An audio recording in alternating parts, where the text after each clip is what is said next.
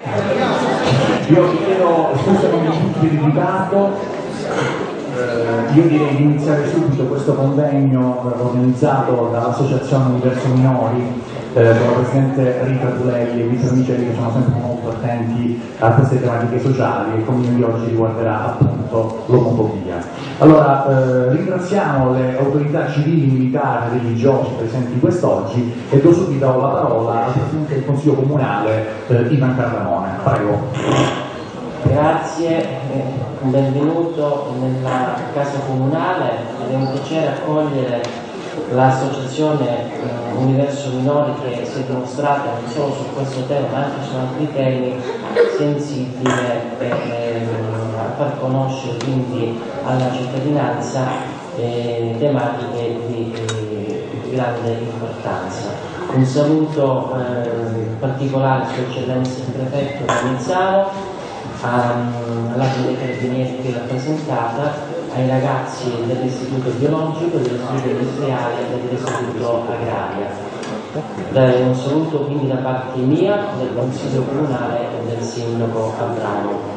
Oggi affrontato un tema di una certa importanza, rilevanza e molto complesso, quindi sicuramente merito va a chi ha voluto, a chi ha organizzato questa, questa iniziativa. Saremo qui ad ascoltare per interesse eh, una tematica eh, di attualità e di eh, una importanza tale perché la cultura del rispetto e il rispetto della persona certamente sono fondamentali nel vivere civile, quindi sollevare nelle coscienze di ognuno di noi eh, problematiche di questo tipo eh, contribuisce certamente alla crescita eh, culturale quindi di una città capoluogo di regione. Quindi rinnovo i miei complimenti all'associazione eh, Universo Minori e quindi alla sua presidente, la Rita, dottoressa Rita Tudelli, per l'attività che eh, porta avanti con la sua associazione. Grazie.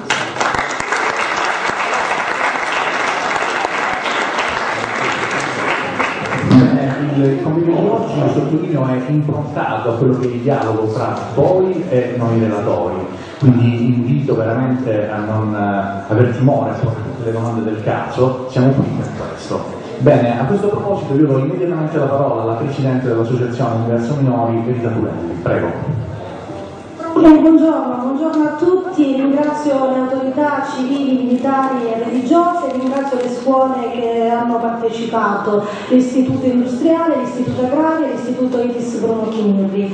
Noi come associazione verso minori abbiamo deciso di organizzare un convegno riguardante l'omofobia, in quanto l'omofobia è definita analoga, l'Unione Europea l'ha definita analoga al razzismo, alla xenofobia, al sessismo, al razzismo e infatti l'omofobia l'omofobia può diventare molte volte causa di bullismo, di violenza, di vessazioni. E quindi noi come associazione ci teniamo a lanciare un messaggio soprattutto a voi ragazzi, in quanto bisogna far capire che il problema non sono gli omosessuali, il problema non sono i gay come molte volte vengono definiti in modo dispregiativo, ma il problema e il pensiero negativo ce l'ha l'omofobo e bisogna aiutare gli omofobi a far capire che il, il pensiero è soltanto nella loro mente e bisogna denunciare a favore di chi non accolta. Io eh, appunto ci tengo a lanciare questo messaggio in quanto come associazione ci siamo occupati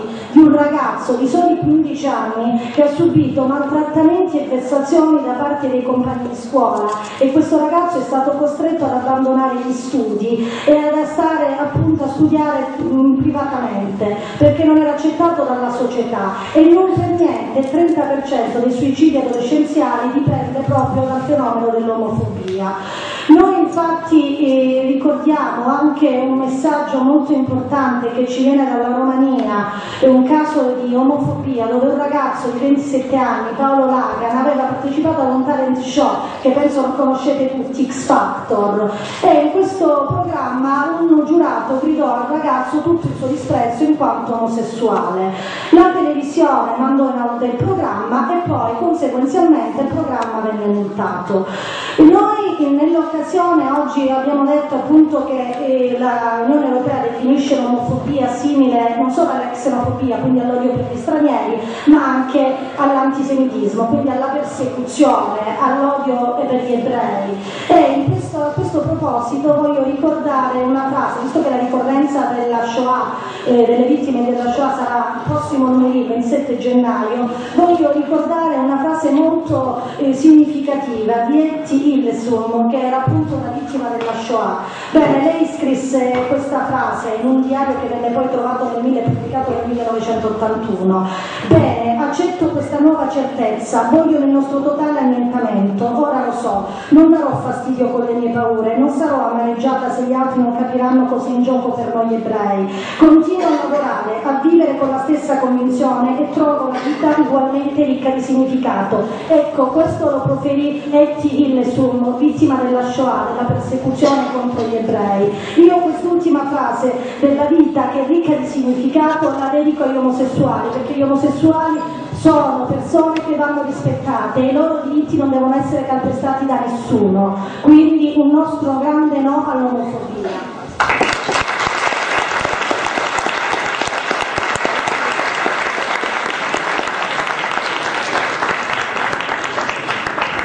la parola al vicepresidente dell'associazione Vittorio Micheli. Buongiorno e benvenuti a tutti quanti. Ringrazio le autorità civile, civili, religiose e militari qui presenti. Io sono Vittorio Micheli, come aveva detto poc'anzi il moderatore Gaetano Romani, sono il vicepresidente dell'Associazione Universo Minore. Lo scopo del nostro convegno è di sensibilizzare tutti, soprattutto i più giovani, per evitare casi di bullismo all'interno delle scuole. Siamo stanchi di vedere forme di razzismo di violenza fisica e psicologica nei confronti di uomini o donne che hanno la sola colpa di provare un sentimento per una persona dello stesso sesso. Nello specifico la parola omofobia deriva dal greco homos, stesso, e phobos, timore, paura. Significa letteralmente paura nei confronti di persone dello stesso sesso, e più precisamente si usa per indicare l'intolleranza e i sentimenti negativi che le persone hanno nei confronti di uomini e delle donne omosessuali. L'Unione Europea, come aveva detto poc'anzi la, la Presidente dell'Associazione Universo Mignoli, l'Unione Europea la considera analoga al razzismo, alla xenofobia, all'antisemitismo e al sessismo e trova terreno fertile nel pregiudizio e può manifestarsi in modo molto diversificato dalle offese verbali alle minacce fino a sfociare in aggressioni fisiche. In Iraq, in Arabia Saudita, Yemen, Mauritania, Sudan, Nigeria, Somalia, gli omosessuali vengono condannati a morte e in altri paesi l'omosessualità è illegale. In molte zone del mondo la situazione negli ultimi anni è senza dubbio migliorata. C'è molto ancora da fare sia nei paesi più avanzati che hanno le leggi che proteggono i diritti delle persone omosessuali e soprattutto in quei paesi in cui tali leggi non esistono. Raramente ci mettiamo a pensare cosa possa significare essere vittima dell'omofobia. Sentirsi giudicati, odiati per qualcosa che fa parte della natura e che non possono in nessun modo cambiare. Sentirsi, diciamo, dalle ultime statistiche risulta che un suicidio su 10 è causato dall'omofobia. Una persona su 10 ci toglie la vita perché è costretta a subire angherie di ogni genere, da quelle verbali a quelle fisiche. Il nostro augurio oggi è che questo convegno possa essere un punto di partenza per l'abbattimento di questi pregiudizi. Soprattutto ci rivolgiamo a voi giovani affinché siate portatori di messaggi positivi e di apertura nei confronti di chi subisce ingiustificate forme di razzismo. Ringrazio ancora tutte le scuole qui presenti e do la parola a Gaetano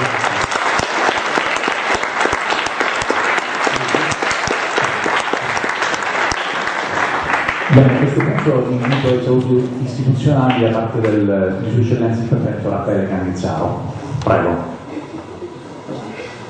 Grazie, grazie al Presidente Ferretti per il invito a partecipare a questa eh, interessante giornata. Così come interessanti sono stati i eh, approcci al problema della Presidente stessa e del, del Vicepresidente. Eh, il tema è, è scottante, di, di grande attualità, è un tema che si collega peraltro ad altre patologie eh, sociali che il nostro paese, il mondo occidentale in genere vive in, in questo momento e, e, probabilmente anche in questo senso l'ha, in questo senso l'ha trattato. A me toccano soltanto i saluti in questa fase, peraltro vedo che eh, ci sono eh, tra i relatori eh, che seguiranno eh, cariche e professionalità eh, specifiche che sicuramente porteranno dei contributi particolarmente interessanti di riflessione, di elaborazione anche del pensiero di questi ragazzi che oggi sono stati qui eh, invitati. Sicuramente ogni, ogni, manifestazione che serva a creare sensibilità a questo tipo di problema è utile e utilissima sarà anche questa giornata. Non voglio eh, chiudere però senza dare qualche, almeno un, eh, un minimo di, di considerazione. Eh, l'omosessualità è stata dire, variamente eh, considerata nella storia, nella storia dell'uomo. Eh, talvolta è stata anche considerata come una valore. Eh, l'approccio però nella considerazione se deve essere un valore, se deve essere una, un difetto, se deve essere una diversità, è evidentemente un approccio sbagliato. Comunque un approccio sbagliato. Eh, si nasce, eh, si nasce maschi, si nasce femmine, si nasce omosessuali, non è un desiderio, l'omosessualità non è, non è l'appagamento di un desiderio, non è e questo è l'unico fatto certo, non è una scelta individuale. Omosessuali sì, come si è maschi, come si è femmine. Eh, allora l'unica cosa che rileva è ehm, eh, la condizione di vita di un uomo, di una persona umana. Eh, il diritto che questa persona possa eh, crescere, eh, educarsi, sviluppare la propria sfera affettiva, la propria sfera culturale, avere il diritto di eh, vivere consapevolmente nel mondo che lo circonda, senza essere perciò disturbato, ed avere il diritto, come eh, con una espressione molto ad effetto dicono gli americani, avere diritto alla propria felicità. Eh, e allora vigile deve essere l'attenzione eh, di tutti noi, consapevoli del fatto che la casualità può colpire chiunque e badate può colpire anche in momenti diversi della propria esistenza, perché scoprire di essere omosessuali non è un fatto che accade alla nascita, ma può accadere a tre anni, a 13 anni, a 30 anni, a 50 anni. Eh, essere vigili, dicevo, essere consapevolmente vigili nel, nel vostro, nella vostra via di relazione e eh, rifiutare tipo di comportamento che non sia inquadrato al rispetto della persona, anche in questa e soprattutto in, questa, eh, in questo caso, e alla segnalazione. Alla segnalazione a chi ha compiti di vigilanza e di eh, dovere e anche dovere educativo, quindi ai vostri professori, ai vostri presidi, alle autorità, perché eh, tacere su eh, piccoli comportamenti che possono comprimere la libertà altrui e anche essere comici. Vedete, noi abbiamo una, eh, nel rispetto e nella tutela dei nostri diritti civili abbiamo eh, nel nostro regione soprattutto una, una, una, considerazione strana delle cose. Quando vediamo un, un signore, un cittadino che va alle tasse o che commette un delitto, diciamo io non porto, io non porto la spia eh, non portare la spia eh, significa non condividere i valori civili e rendersi complice di qualcosa che non può essere, non deve essere fatto. Non è onorevole non portare la spia, è onorevole invece riferire a chi ha doveri e responsabilità. Qui evidentemente il campo si può allargare, dire, il, il problema dello, dello stalking, ehm, le, le insidie, le vessazioni, eh, gli strumenti giuridici che noi abbiamo a tutela delle persone colpite, se sono adeguati, se non lo sono, se è necessario apportare dei rimedi e delle modifiche normative. Immagino che questo poi tornerà oggetto di riflessione negli interventi a venire. Eh, e risaluto io credo di essere andato anche troppo avanti. Mm.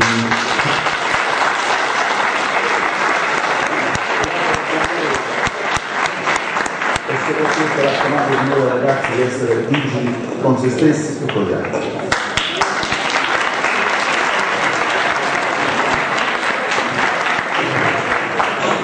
Ovviamente ringraziamo per questa importante testimonianza. Eh, io direi di fare mh, parlare immediatamente la Presidente dell'Arcigay EOS di Cosenza e subito dopo invito eh, gli alunni e le insegnanti a porre le domande perché abbiamo già tanta carne al fuoco diciamo. Eh, Lavinia Durantini, prego.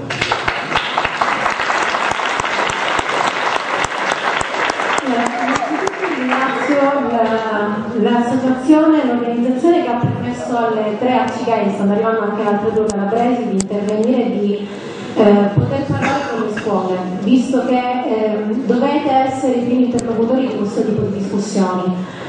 Le scuole, ma non solo gli alunni, anche gli insegnanti. Credo che negli interventi precedenti abbiano detto molte cose importanti, hanno toccato eh, i punti giusti dai quali partire per discutere di omofobia e di omosessualità. Cioè chiarire cos'è l'omosessualità, che non sia né una scelta, né un'inclinazione, né una voglia, né un gioco. Chiarire che si parla di razzismo e non di una paura. La fobia può essere aracnofobia, può essere agorafobia, non paura di una persona. Non si può avere paura di un'altra persona che vive la sua vita senza nulla togliere a nessun altro, anzi magari dando qualcosa in più perché creare una coppia, creare un amore, stare insieme dà qualcosa in più, non toglie nulla a nessun altro. E, nelle scuole spesso si incorre in atteggiamenti da branco che portano al bullismo ed è una delle cose più pericolose. Se c'è una cosa che rende pericolosi i ragazzi, dai più piccoli ai più grandi, essere in branco, li fa sentire forti. Bisognerebbe capire in cosa questa forza stia. Dire a una persona fai schifo non lo so, prima abbiamo sentito un posso dire soltanto che mi fanno schifo, abbiamo segnata, direi che non sono né faccia a farvi sentire meglio né cosa vi faccia schifo. Come due donne che si amano possono farvi schifo, come due uomini che si amano possono farvi schifo, non lo comprendo. Giuro che non vi toccheranno. Nessuno di noi ha intenzione di circuire gli altri, per cui la nostra vita, i nostri amori, i nostri affetti non vi riguardano, vanno rispettati, come noi che non, non abbiamo amori eterosessuali, non abbiamo attrazioni eterosessuali, non passiamo le nostre giornate a dire che ci fate schifo. Giuro di non averlo detto neanche i miei genitori, quindi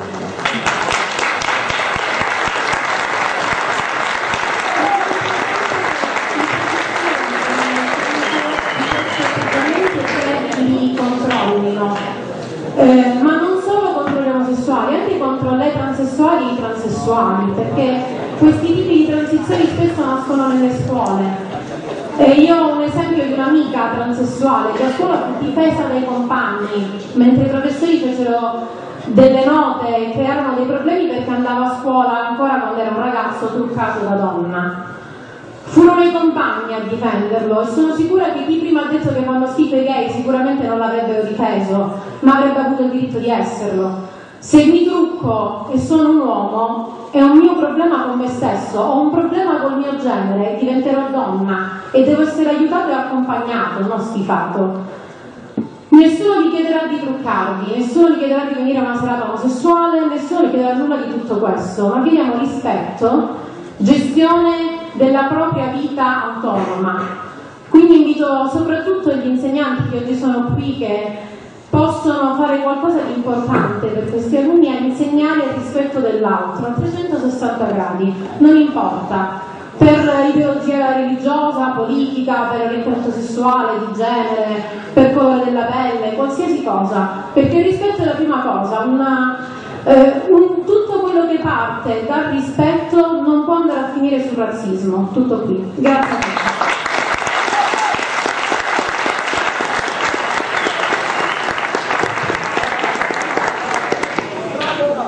ringraziamo la Durantini per questo bellissimo intervento. Come dicevo, come avevo anticipato poco fa, invito eh, la, le professoresse o comunque gli alunni a porre qualche domanda, anche perché eh, abbiamo un parco relatori eh, ingente, abbiamo psicologi, avvocati, eh, quindi potete fare tutti domande anche da un punto di vista eh, psicologico e comunque da un punto di vista legale. Chi inizia? Siamo qui per voi, quindi deve essere un'interazione. So che ci sono delle domande, quindi le aspettiamo. Senza nessun timore.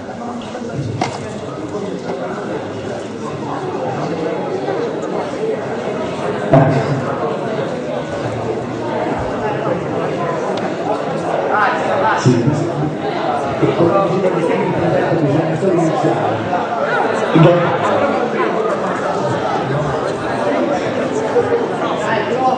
Io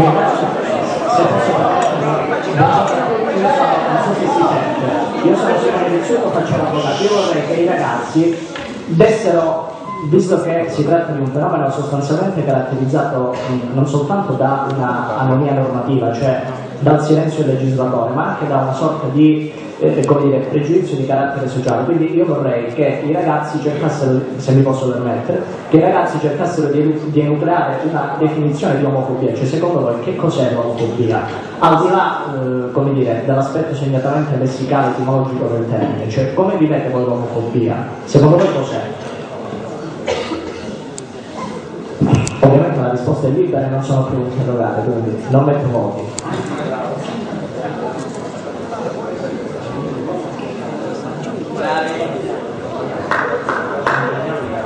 Allora, se mi posso permettere di fare un intervento di due minuti, provo a darle una definizione di omofobia. A mio l'omofobia si manifesta ogni qualvolta venga agita una forma di discriminazione comunque di come dire, biasimo nei riguardi di un soggetto e per il fatto stesso che il soggetto porti uno status personale individuale e peculiare. Possiamo pensare all'omosessuale, ma possiamo anche pensare ad esempio allo straniero o all'apoide. Quindi questo status eh, personale peculiare determina nell'ambito appunto della società, come già stato detto in precedenza, un atteggiamento quasi di, eh, dire, biasimo, quasi di disvalore. Secondo voi questo atteggiamento può, può dire, essere corretto, può essere emendato, deve essere emendato? Non siate paurosi. Vabbè, allora intanto continuo io.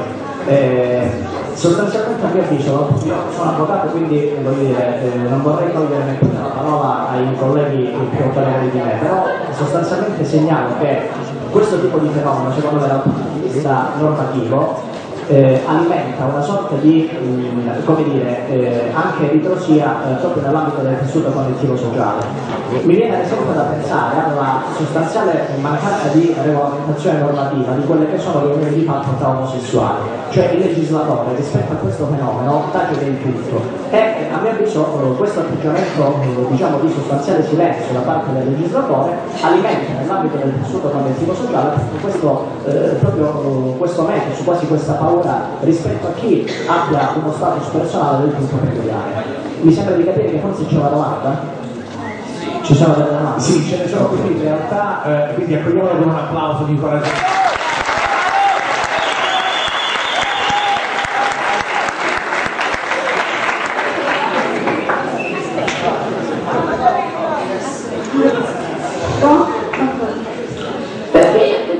omofobici più, sono più forti nei confronti degli uomini gay piuttosto che nei confronti delle donne omosessuali? Questa è la mia domanda.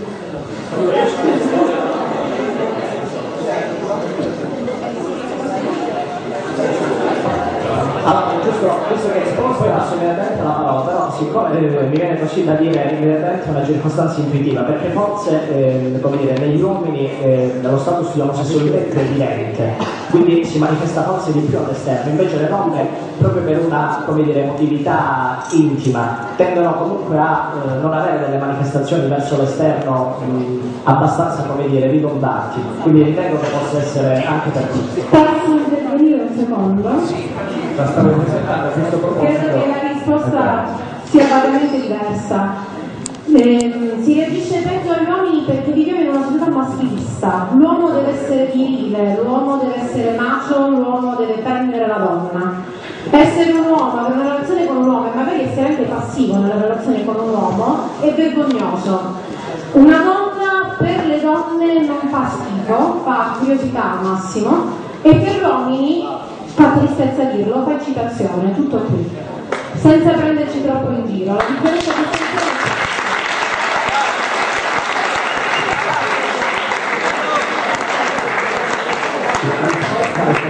la signora Rossana Colombo.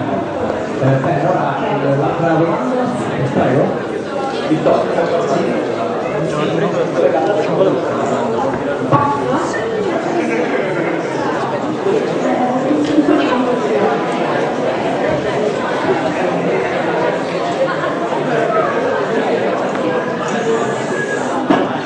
Sì, si può aggiungere in, qualcosa, prego, prego. Sì, Presidente, se no no, non si sente nulla. Eh, sicuramente hanno ragione entrambi, quindi sia l'avvocato Rizzuti che eh, la, la Presidente Facigay. Um, diciamo che l'omosessualità femminile è sempre stato più un tabù rispetto a come maschile. Ehm, diciamo che ehm, possiamo considerare come eh, due ehm, lesbiche, come diceva giustamente prima ehm, la ragazza, scusami, Lavinia, ehm, creano anche citazioni nei confronti della, della eterosessuale. Non si dire la stessa cosa eh, al contrario, quindi anzi due, eh, due gay eh, creano disgusto, disprezzo, ecco perché l'omofobia spesso è un, uh, comportamento manifestato soprattutto nei confronti degli omosessuali ehm, maschili piuttosto che ehm, femminili. Quindi questa è un po' la risposta.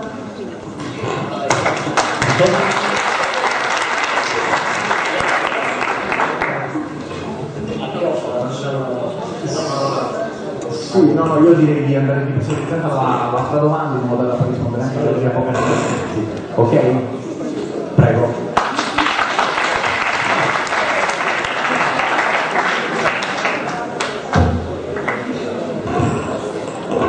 Perché l'Italia è il paese dell'UE con il maggiore tasso di omofobia?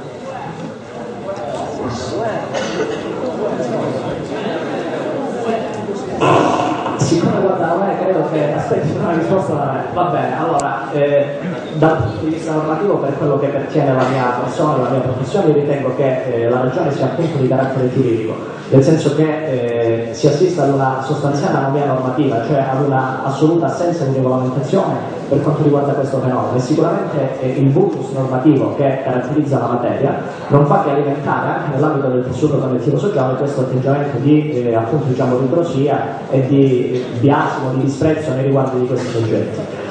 A cosa rispetto a quello che dicevo prima, volevo, siccome mi è stato detto che la mia risposta è diciamo per silenzio inesatta, in realtà mi fa specie che nel 2013 si parla ancora di una società maschilista, laddove invece molti sociologi e antropologi discorrono quasi di reverse discrimination, nel senso che addirittura mh, ovviamente per meriti delle donne l'uomo ovviamente nelle realtà sicuramente più avanzate viene visto non dico come un minus sapens ma sicuramente come un soggetto che oramai versa in una sorta di parità sostanziale rispetto alla donna e, e io voglio solo pensare al fatto che ad esempio in magistratura o comunque in politica quindi i ruoli importanti oramai le donne surpassano gli uomini. Quindi voglio dire nel 2013 nell'ambito di un tessuto collettivo sociale voluto come il nostro ricercare la problematica soltanto in chiave di maschilismo mi sembrerebbe oltremodo riduttivo questo è il mio punto di vista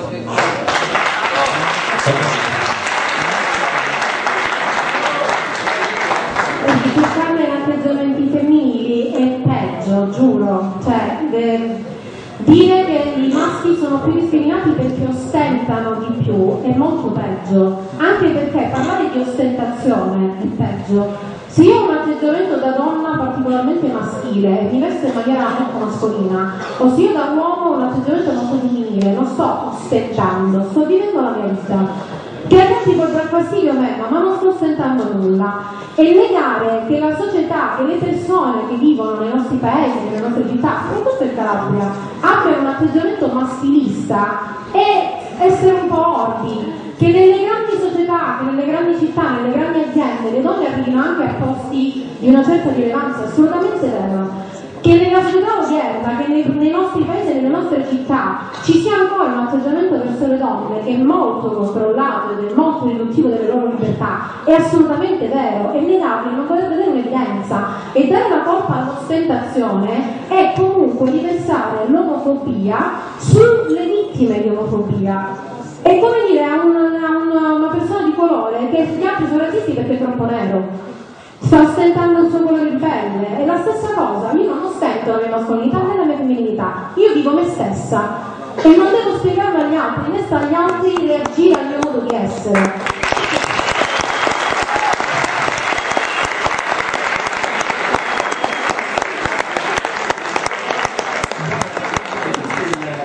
il dibattito che eh, è scaturito da una domanda. Ora eh, vuole chiudere la parola il prefetto Cannizzaro, prego. Per dire una cosa eh, sulla differenza tra, eh, sulla maggiore incidenza in Italia rispetto ai paesi dell'Unione Europea. Io mi interrogerei ehm, sul, sugli elementi culturali, cioè sulla diversa ehm, diversa impostazione della cultura eh, da, nord, da nord verso sud. Non dimenticherei il nostro essere popolo tradizionalmente cristiano, l'influenza dell'educazione religiosa che ha avuto nostre, nella nostra formazione culturale e poi che il nostro quadro normativo sia o no più o meno progredito, uh, questa è soltanto una conseguenza. Um, vi inviterei a riflettere su questo, insomma, credo che sia la madre del problema piuttosto che l'estrema effetto. Mi presentare l'avvocato Lucia D'Atto, la Presidente dell'Arcichei Primari di Reggio Calabria, ah Luci, Luci, eh, e Francesco Furfaro, giusto? Furfaro, abbiamo fatto 13 che è il presidente della Caleidos di Lamezia Terme. Eh, gli, gli, salutiamo eh, e invitiamo l'intervento l'onorevole Angela Napoli, poi si subiranno altre domande.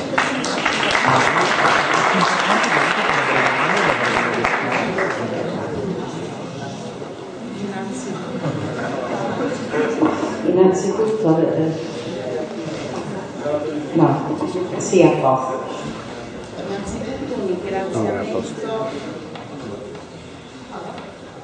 Alla Presidente eh, Rita Tunelli dell'Associazione Universo Minori, al suo eh, Vicepresidente per eh, ancora una volta eh, aver indetto una giornata di confronto, di dibattito eh, con eh, i giovani, con i giovani eh, studenti su un argomento eh, che a volte è troppo sottaciuto eh, o, o, viene trattato in maniera assolutamente non corretta. Io eh, prima di eh, toccare anche il discorso della normativa perché l'ho vissuta nella scorsa legislatura eh, quale componente della Commissione eh, Giustizia eh, proprio la normativa sull'argomento, sulla legge eh, contro l'omofobia, eh, visto che eh, parlo con dei giovani, dei giovani studenti, vorrei partire dall'articolo 3 della Costituzione italiana che è un articolo, eh, eh, così come l'intera Costituzione, che dovrebbe essere di vostra conoscenza, ma eh, per non eh, sbagliare ve lo rileggo eh, puntualmente.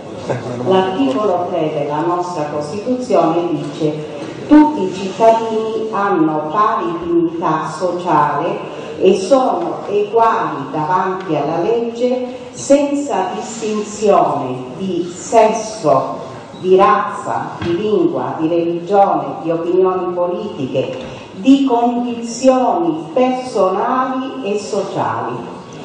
È compito della Repubblica, dice sempre l'articolo 3 della Costituzione, rimuovere gli ostacoli di ordine economico e sociale che limitando di fatto la libertà e l'uguaglianza dei cittadini impediscono il pieno sviluppo della persona umana e l'effettiva partecipazione di tutti i lavoratori all'organizzazione politica, economica e sociale del Paese.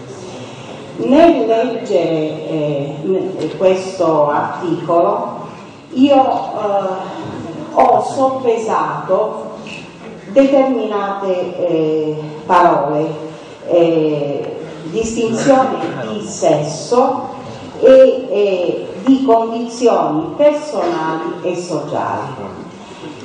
Perché eh, sono partita dalla eh, valutazione, dalla lettura di questo articolo della Costituzione italiana? Perché a mio avviso non eh, si recepisce esattamente il significato eh, per bloccare proprio eh, l'omofobia. Sesso non è solo da intendere eh, uomo o donna, ma anche orientamento sessuale. E questo, eh, questa mancanza di intendimento dell'orientamento eh, sessuale eh, valutato nell'articolo 3 della Costituzione e delle condizioni anche personali della, eh, dell'individuo sono eh, le cose che di fatto hanno bloccato fino ad oggi una eh, normativa contro, una legge eh, contro eh, l'omofobia eh, che eh, non solo ci è richiesta dalle varie risoluzioni, dalla Carta eh, dei diritti umani, richiesta a livello europeo, ma che si rende assolutamente indispensabile, a mio avviso, proprio per bloccare eh, questa preoccupazione, questa specie di paura che nasce nei confronti eh, di eh, una persona che è diversamente e diversa, ha un orientamento sessuale diverso dal mio. E, e questa eh, paura di fatto non viene bloccata anche per la mancanza di una eh, normativa che sia realmente adeguata. Vedete, nella scorsa legislatura la legge contro l'omofobia è stata eh, discussa e pluridiscussa, ma chi ha eh, nel legislatore, tra i legislatori, eh, coloro che hanno eh, una visione realmente omofoba. Hanno eh, bloccato eh, l'iter della, della, legge su eh, cavilli che sono assolutamente ehm, assurdi. Eh, non si, non si, è voluto arrivare a definire realmente una legge eh, contro l'omofobia, magari a volte eh, preoccupandosi anche del, del numero, dell'oggetto della, della, pena, degli anni eventuale reclusione o della ammenda che dovrebbe esserci. Vedete, è, è una legge che eh, io reputo estremamente necessaria e eh, che eh, mi deriva anche, voglio anche portarvi questa esperienza, perché è giusto che eh, voi giovani capiate che cosa significa lavorare e vivere accanto ad una persona che è eh, eh, orientata sessualmente diversamente da me. Io ho lavorato su questo tema in Commissione Giustizia nella scorsa legislatura, ma anche in aula, con eh, una eh, ex collega eh, ormai che aveva un orientamento eh, eh, sessuale diverso, diverso dal mio. Ma eh, ho lavorato su questo tema, ma anche su altri temi eh, riguardanti il discorso del settore della giustizia, garantisco eh, come se fosse una persona identica a me, cioè non bisogna eh, partire dal pregiudizio, non devo considerare quella persona diversa o incapace anche di trattare determinati eh, argomenti o di eh, fare una eh, sua vita o esercitare una sua professione che eh, eh, può essere esercitata da, da una persona qualsiasi. Cioè considerare la persona che ha un orientamento sessuale diverso dal mio, eh, come eh, considerarla con paura, considerarla eh, come una persona da allontanare, non fa altro che creare la forma di bullismo che purtroppo poi eh, trascende in tante altre eh, forme diverse. In questa legislatura io ho seguito, non sono più parlamentare, ma ho seguito e una legge contro eh, eh, l'omofobia è stata approvata alla Camera dei Deputati, cioè in un ramo del Parlamento attende adesso l'approvazione nel secondo ramo del Parlamento, ma l'approvazione nel primo ramo del Parlamento, alla Camera dei Deputati, non è stata indolore perché eh, più volte dall'Aula è stata costretta a ritornare in Commissione Giustizia, i relatori si sono dimessi, ma questo perché? Perché anche nel legislatore eh, nasce, cioè eh, vige quel principio dell'omofobia che non dovrebbe assolutamente esserci eh, tra i comuni cittadini e a maggior ragione eh, contro, eh, nel, nel legislatore. Ha ragione Sua Eccellenza il Prefetto quando dice che c'è un discorso di eh, radicamento culturale.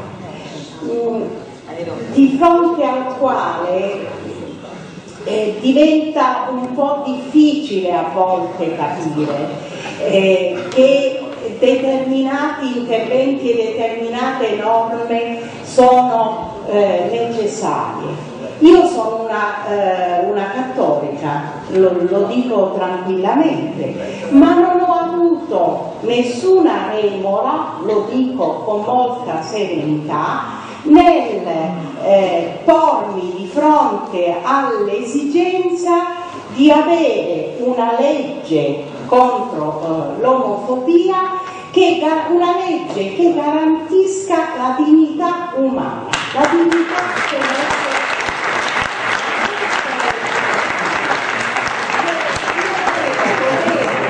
garantire, me lo dice anche la Costituzione italiana, la dignità dell'essere umano.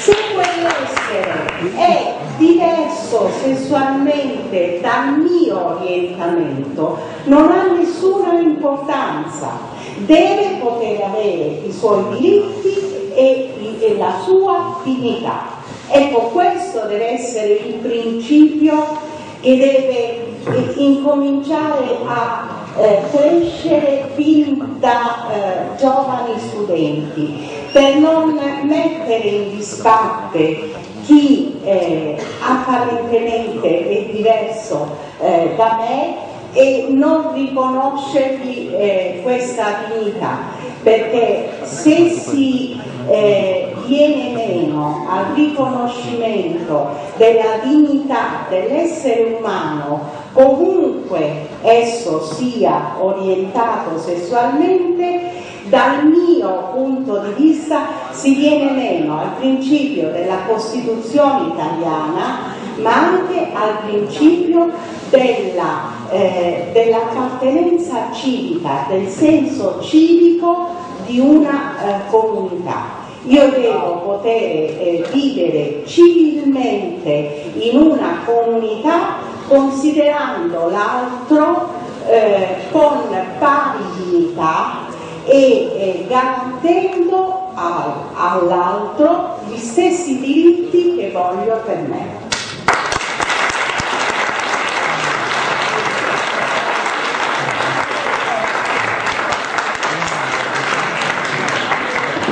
Allora, la eh, io farei mm, con un'altra domanda agli alunni. Prego.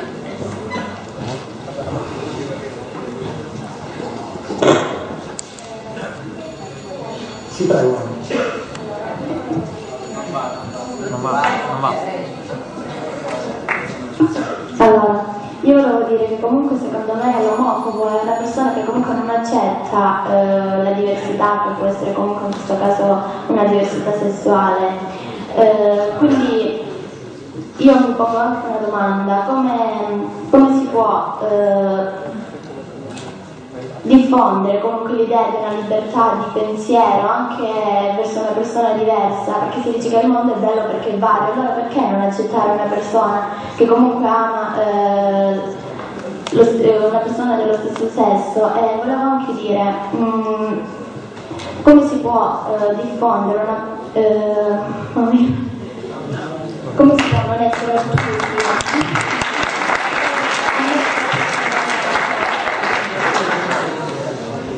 Cioè perché secondo me anche una persona omofoba perché è ignorante nell'argomento, non è aperta, è ottusa in merito a questa diversità e soprattutto anche in Calabria.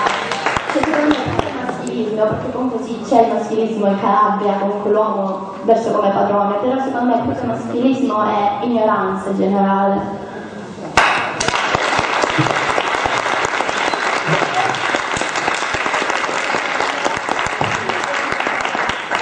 oltre alle domande ha fatto un bel intervento della complimenti veramente. Ed è chi meglio eh, dell'avvocato Luigi, Luigi Lucio Lattola, presidente dell'arcidieri domani di Reggio Calabria può rispondere. Prego ancora per il nome. Assolutamente. Intanto buongiorno a tutti, mi scuso per il ritardo dovuto chiaramente alla viabilità della nostra Calabria. Chiaramente partire da Reggio Calabria stamattina e arrivare qui con le varie eh, carovane di tir non è stato facilissimo e le interruzioni, quindi mi scuso eh, con tutti i relatori. E, innanzitutto, come, se, come quasi sempre, mi urge fare l'ennesimo coming out della mia vita. Voi sapete cos'è il coming out? Il coming out è un procedimento di consapevolezza. Io sono un uomo, sono Lucio D'Attola, sono gay, sono presidente di Arcigay, sono avvocato e questa è la mia risposta all'ostentazione.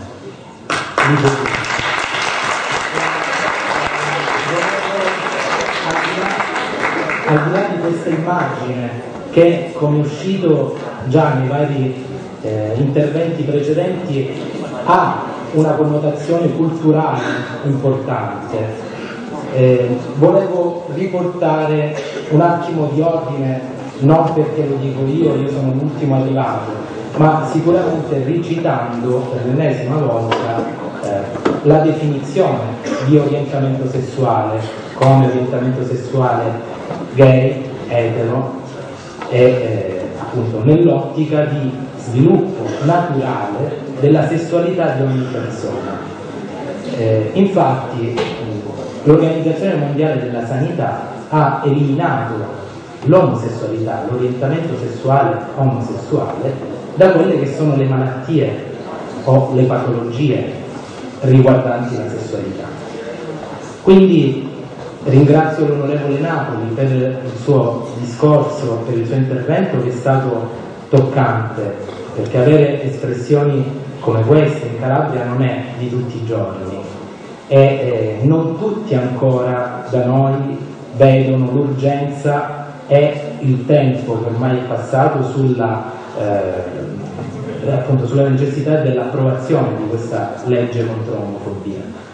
Ed è vero che è un problema culturale, ma non c'è dubbio che di fronte a una certezza come quella che l'Organizzazione Mondiale della Sanità dà sulla normalità, parola odiosa, diciamo, sul normale sviluppo della sessualità di ogni persona rispetto all'omosessualità, non posso io sentir dire che bisogna aiutare le persone a capire che l'orientamento è naturale. Questo è il compito delle associazioni, questo è il compito delle singole persone omosessuali, ma è chiaro che di fronte a intanto dire, esempi inseriti nei vari emendamenti eh, alla legge appunto contro l'omofobia come i pedofili ed altre forme eh, diciamo degenerate eh, di sessualità, io credo che ci voglia una presa di coscienza forte su questo aspetto, che sia una presa di coscienza concreta delle responsabilità che lo Stato italiano ha, nella grandezza dello Stato italiano, perché non c'è dubbio che il fatto di assurgere al valore dell'ordinamento la violenza contro persone di orientamento sessuale diverso da quello etero sia già un traguardo. Non posso però dire che questo sia il traguardo o che questo ci possa bastare.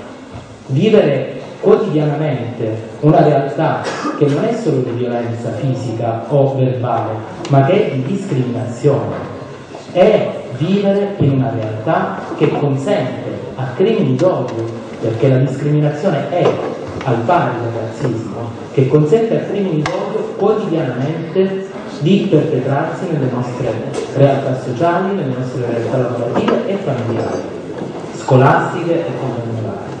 Quindi, intanto, eh, appunto, per rispondere alla ragazza di poco fa, eh, l'omofobo è una persona che prova la fobia, che sente la fobia verso chi manifesta un orientamento sessuale diverso dal proprio. E la fobia non è controllabile, ma la fobia deve essere curata. Allora io mi chiedo perché lo Stato italiano non fa una legge per curare gli omofobi e ancora continuiamo a parlare di tutela delle persone omosessuali. O qui il cambiamento culturale prevede che le istituzioni dello Stato portino con responsabilità un cambiamento in questa nazione, oppure noi non so come continueremo a vivere nel 2014, 2015 e compagnia cantando. Certo ci vuole una forza che io chiamo propulsiva della legge, che spesso noi giuristi, mi rivolgo agli avvocati presenti, spesso noi dimentichiamo, cioè la legge deve incarnare i valori che sono posti a base dello Stato. E allora mi chiedo perché ancora oggi un'interpretazione come quella appunto portata alla nostra attenzione dall'onorevole Napoli sull'articolo 3 per non parlare dell'articolo 2 della Carta di Nizza, per non parlare delle direttive che già parlano di discriminazioni sul lavoro per orientamento sessuale, per non parlare del valore europeo ormai fissato e ben scandito nei, regola- nei, trattati europei, mi chiedo perché ancora oggi stiamo aspettando e il nostro fulcro non è aiutare l'omofobo che è malato e ha bisogno di curare la sua fobia, ma è tentare di mettere una toppa a una realtà sociale che semplicemente chiede di vivere. Grazie.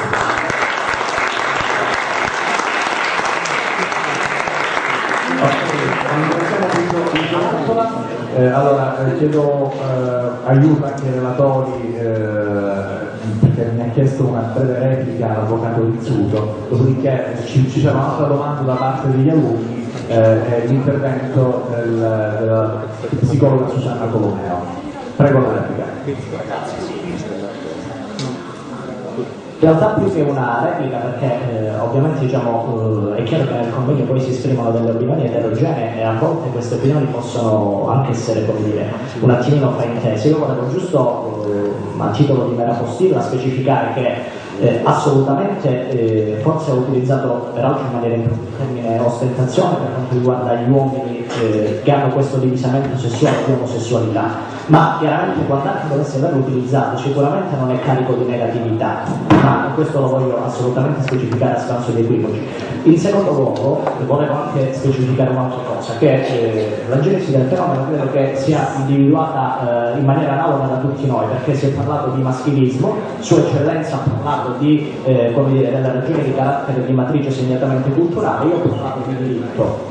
In realtà ritengo che la genesi sia unica per un semplice motivo, perché Costantino Motta insegna che il fenomeno giuridico non è se non un fenomeno sociale, cioè che necessariamente diritto e eh, aspetti di carattere sociale, eh, scienze comunque complementari come l'antropologia, la psicologia, sicuramente devono camminare di pari passo, per cui un problema eh, se vi è sul piano giuridico vi è anche sul piano sociale e viceversa. Eh, e poi un- un'ultima eh, considerazione rispetto all'intervento che avrei dovuto fare. Io sono assolutamente eh, dire, a favore di una regolamentazione normativa eh, di tutto ciò che riguarda ad esempio le unioni di fatto tra soggetti dello stesso sesso. Non fosse altro che eh, per la circostanza secondo la quale eh, una anomia normativa, cioè un'assenza di normativa, non può che esagerbare eventualmente dire, un atteggiamento forse ecco, di eh, ottusità, così come è stato detto, proprio sul piano poi eh, della società. Per cui ecco, volevo semplicemente specificare questo e eh, dire, eh, al fine di non passare come l'omofobo tra i relatori, perché lungi da me questa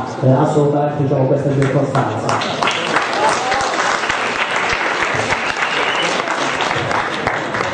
Ok, allora eh, prego la prossima domanda da parte degli alunni.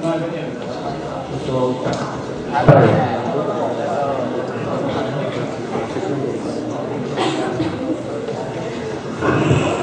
Perché l'omofobia non è considerata una patologia nei principali metodi psicodiagnostici? Ah, prego. Ok, eh, buongiorno a tutti. Mm, Dunque, rispondo subito alla domanda. Diciamo che se facciamo riferimento al manuale diagnostico psichiatrico che è il DSM riconosciuto in, tutta- in tutto il mondo, eh, dobbiamo purtroppo dire che fino agli anni 70 eh, veniva annoverato tra disturbi della sfera sessuale e l'omosessualità. Quindi omosessualità uguale patologia fino agli anni 70. Eh, solo nella successiva edizione, parliamo di- della fine degli anni 70, l'omosessualità viene ehm, eh, eliminata appunto dal DSM.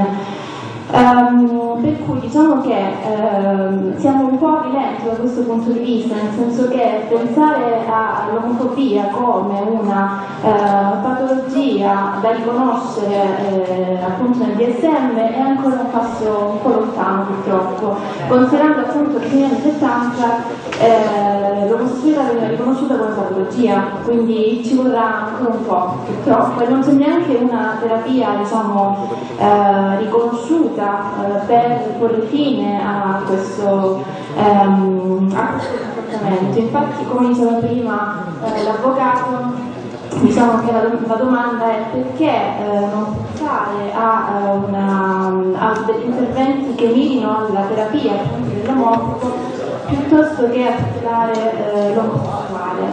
Ehm, diciamo che oggi insieme a voi vorrei cercare di capire i motivi che possono portare eh, una persona ad essere eh, omofoba.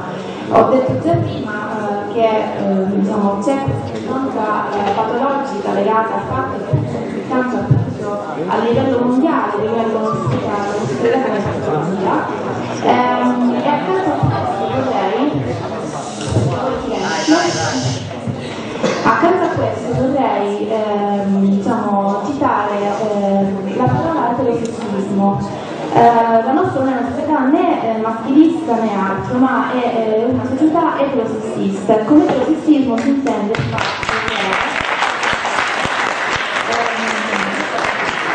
la ehm, concezione condivisa è che l'eterosessualità sia normalità, quindi tutto ciò che non è eterosessuale diventa anormale.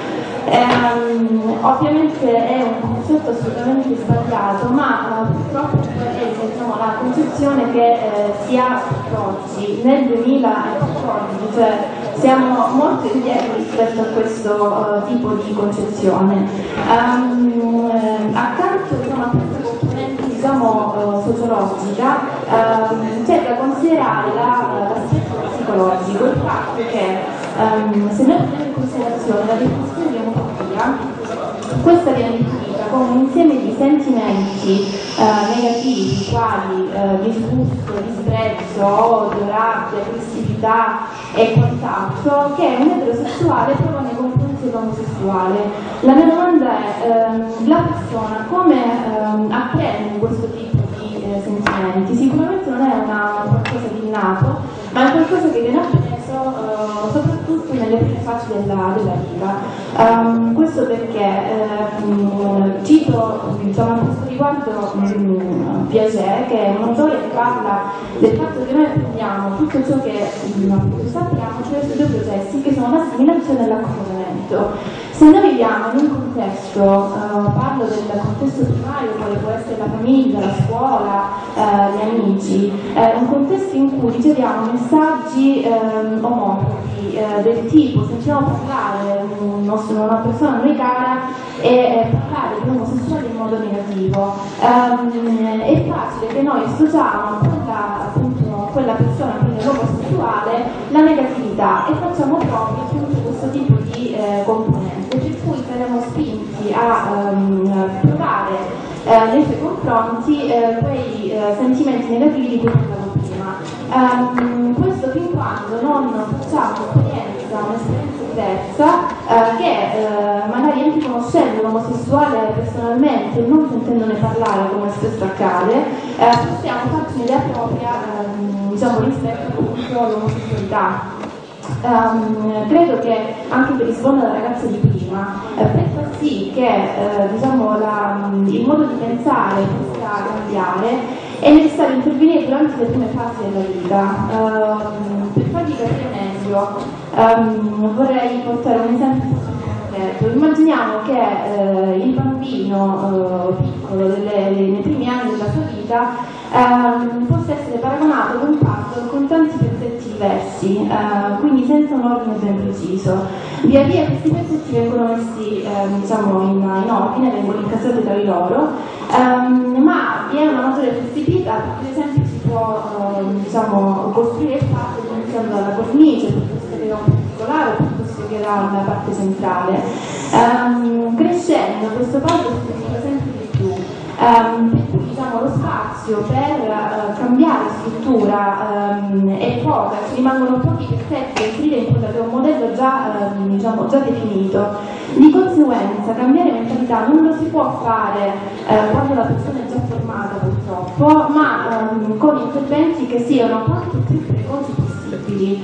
E la presenza delle scuole oggi diciamo, è importante per questo, ehm, la scuola, intesa come organo educativo primario, eh, secondo solo la famiglia, ha il dovere di ehm, lanciare dei messaggi che mirino al rispetto della persona, non per chi ama, eh, non per come si veste, non per come appare, ma per chi è. Cioè la persona va vissuta in base eh, alla, alla sua essenza e non in base a come si, si può comportare o in base all'orientamento sessuale. Ehm, diciamo, l'invito che rivolgo alle autorità e anche diciamo, alla, alla presenza del- degli avvocati, comunque della parte giuridica, per fare delle, delle leggi che ehm, legittimino in qualche modo la, ehm, come diceva prima anche l'avvocato, la possibilità di curare ehm, appunto gli omofobi, eh, anche perché, e qui un po' una provocazione, vedo perché ehm, debba, ehm, dire, eh, debba essere eh, come l'omosessuale ad essere difeso piuttosto che intervenire sul problema eh, che è proprio dell'eterosessuale e eh, quindi mirare alle terapie appunto eh, che ehm, possano in qualche modo risolvere la sua problematica perché mm, diciamo, si tratta di una problematica proprio dell'eterosessuale e non dell'omosessuale che ne è eh, vittima. Grazie. Bene, c'è un di Alfredo, una solamente che una considerazione. Eh, può usufruire Riflessioni molto rapide. Su distingo tre punti rapidissimi. Il primo punto in cui siamo tutti d'accordo, credo, che qualunque barbarie dentro l'essere umano è contestabile senza se e senza ma. Bisogna partire da questo punto.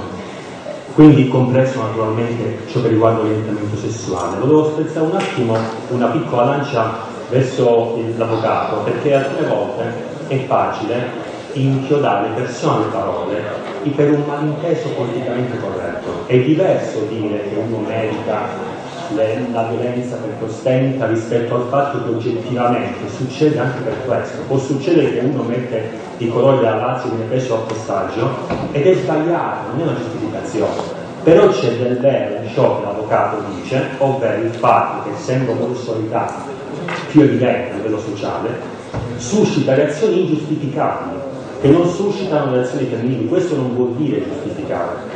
Seconda riflessione, non, secondo me non basta dire bisogna fare una legge, ma che tipo di legge? Nel senso che con, quando c'è riferimento a un grosso valore che si carica di partecipazione emotiva, si può proporre qualunque tipo di legge. Noi possiamo essere contro gli incidenti stradali e dire che chi incide una persona con omicidio colposo con la macchina deve andare all'ergastolo, ma sarebbe una barbarie giuridica. Io non, non penso che qualunque contestazione a una legge che presenti un valore debba necessariamente essere vista come contrarietà al valore di quella legge. Allora si dica non solamente che, legge, che bisogna fare una legge, ma che tipo di legge e se questa legge è conforme a principi giuridici. Terza punto, io starei molto attento a parlare di SM, di estensione di comportamenti umani a livello di cure psichiatriche, perché questa è un'altra forma di, secondo me, barbarie mentale. Il problema è che non è che non c'è l'omosessualità in DSM, il problema è che esiste il DSM che costantemente si estende e patologizza una società creando comportamenti irrealizzabili o comunque diversi che vengono patologizzati, come il caso vergognoso dei bambini con difetto di interattività che vengono fatti con Ritalin secondo una barbara pratica psichiatrica. Noi dobbiamo stare attenti a pensare qualunque cosa contestiamo si cura. Certe cose non sono curabili, o comunque si cura attraverso il confronto, il dialogo, la legge, non semplicemente pensando che si prendono tanti psicofarmaci e tutte le persone che sono diverse hanno le sbagliate, le rendiamo psichiatrizzabili. Queste le mie riflessioni. un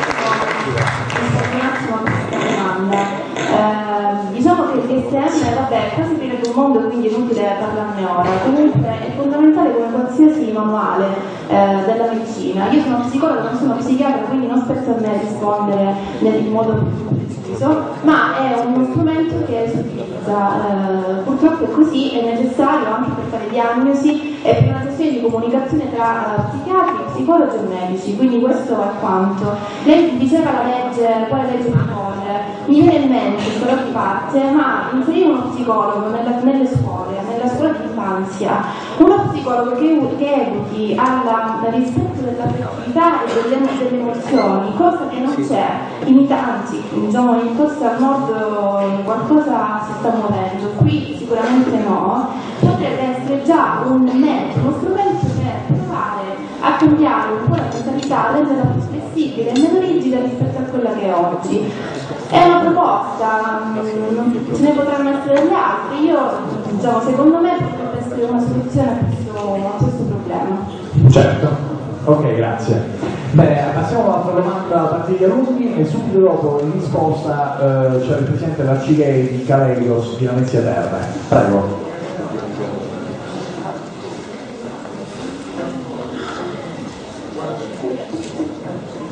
Salve a tutti. Eh, più che altro prima di fare una domanda volevo eh, esprimere mio pensiero, ehm, che secondo me ok, è giusto che i diritti vengano rispettati, ma di ogni persona, che sia gay, eh, sia etero, eh, o che sia anche politica, si parli, sia fascista, comunista, come va rispettato in ogni caso.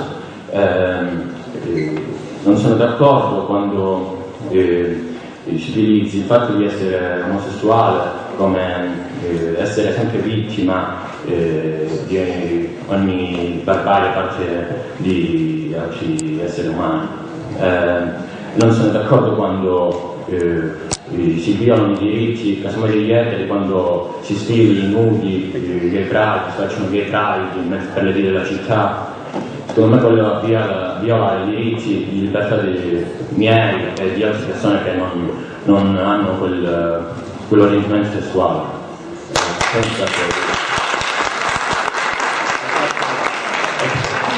Esatto, eh, comunque questo vittimismo, eh, non so, la signora parlava della Shoah, eh, questo, anche gli ebrei, ok, ci sono quelle persone che insultano gli ebrei, ok, e là sono contro, però ci sono anche gli ebrei che utilizzano questo, il fatto di della Shoah per eh, fare le guerre, delle palestine, fare quello che vogliono, io là non sono d'accordo, cioè là posso essere contro gli ebrei. E non sono né razzista o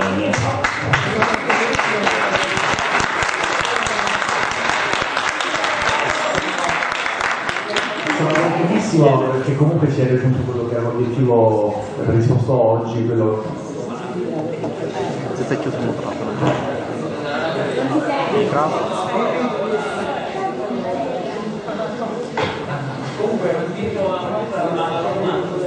Ap- è aperto il microfono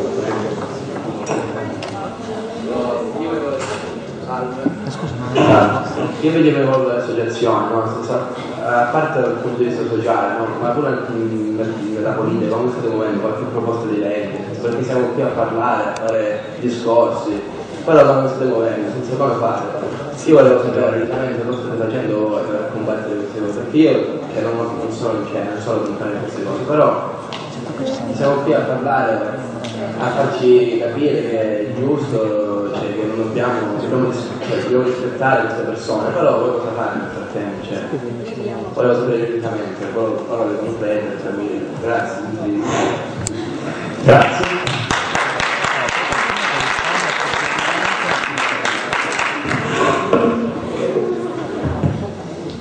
Salve a tutti, eh, rispondo prima al ragazzo alla sua osservazione. Ha parlato un pochino, ha toccato tanti vari aspetti, sia il Pride sia eh, diciamo un po' eh, tra virgolette nella messa come il vittimismo degli, degli ebrei eh, che si sentono tutelati a fare delle guerre perché hanno subito qualcosa eh, nella storia, che è un, un qualcosa approvato storicamente, certificato eh, non, si, non si può negare quello che hanno passato. Eh, sì, però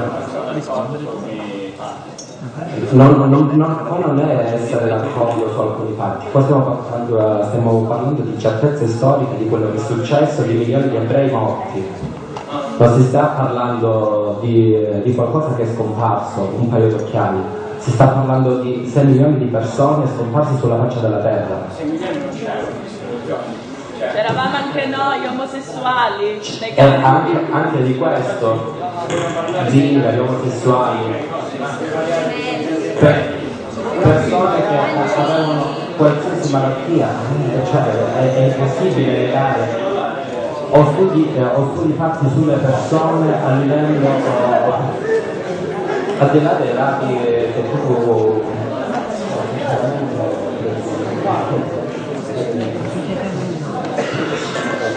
Cioè, eh, noi lottiamo tutti i giorni su queste, su queste cose, credimi, e sentire dire da un ragazzo giovane determinate cose un po' a me mi ferisce personalmente. Credimi, non per altro, perché stiamo parlando di cose che tu potresti benissimo studi a scuola e che hai sentito molte volte parlare e non, può- non si può negare l'evidenza di un, di un fatto storico accaduto.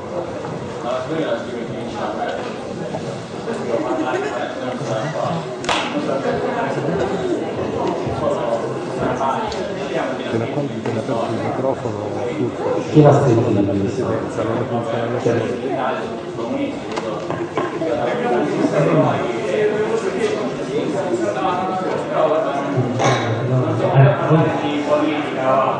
Scusate, vabbè, a parte Scusa, si sta un, po' uscendo fuori tema, eh, quindi non, non è così.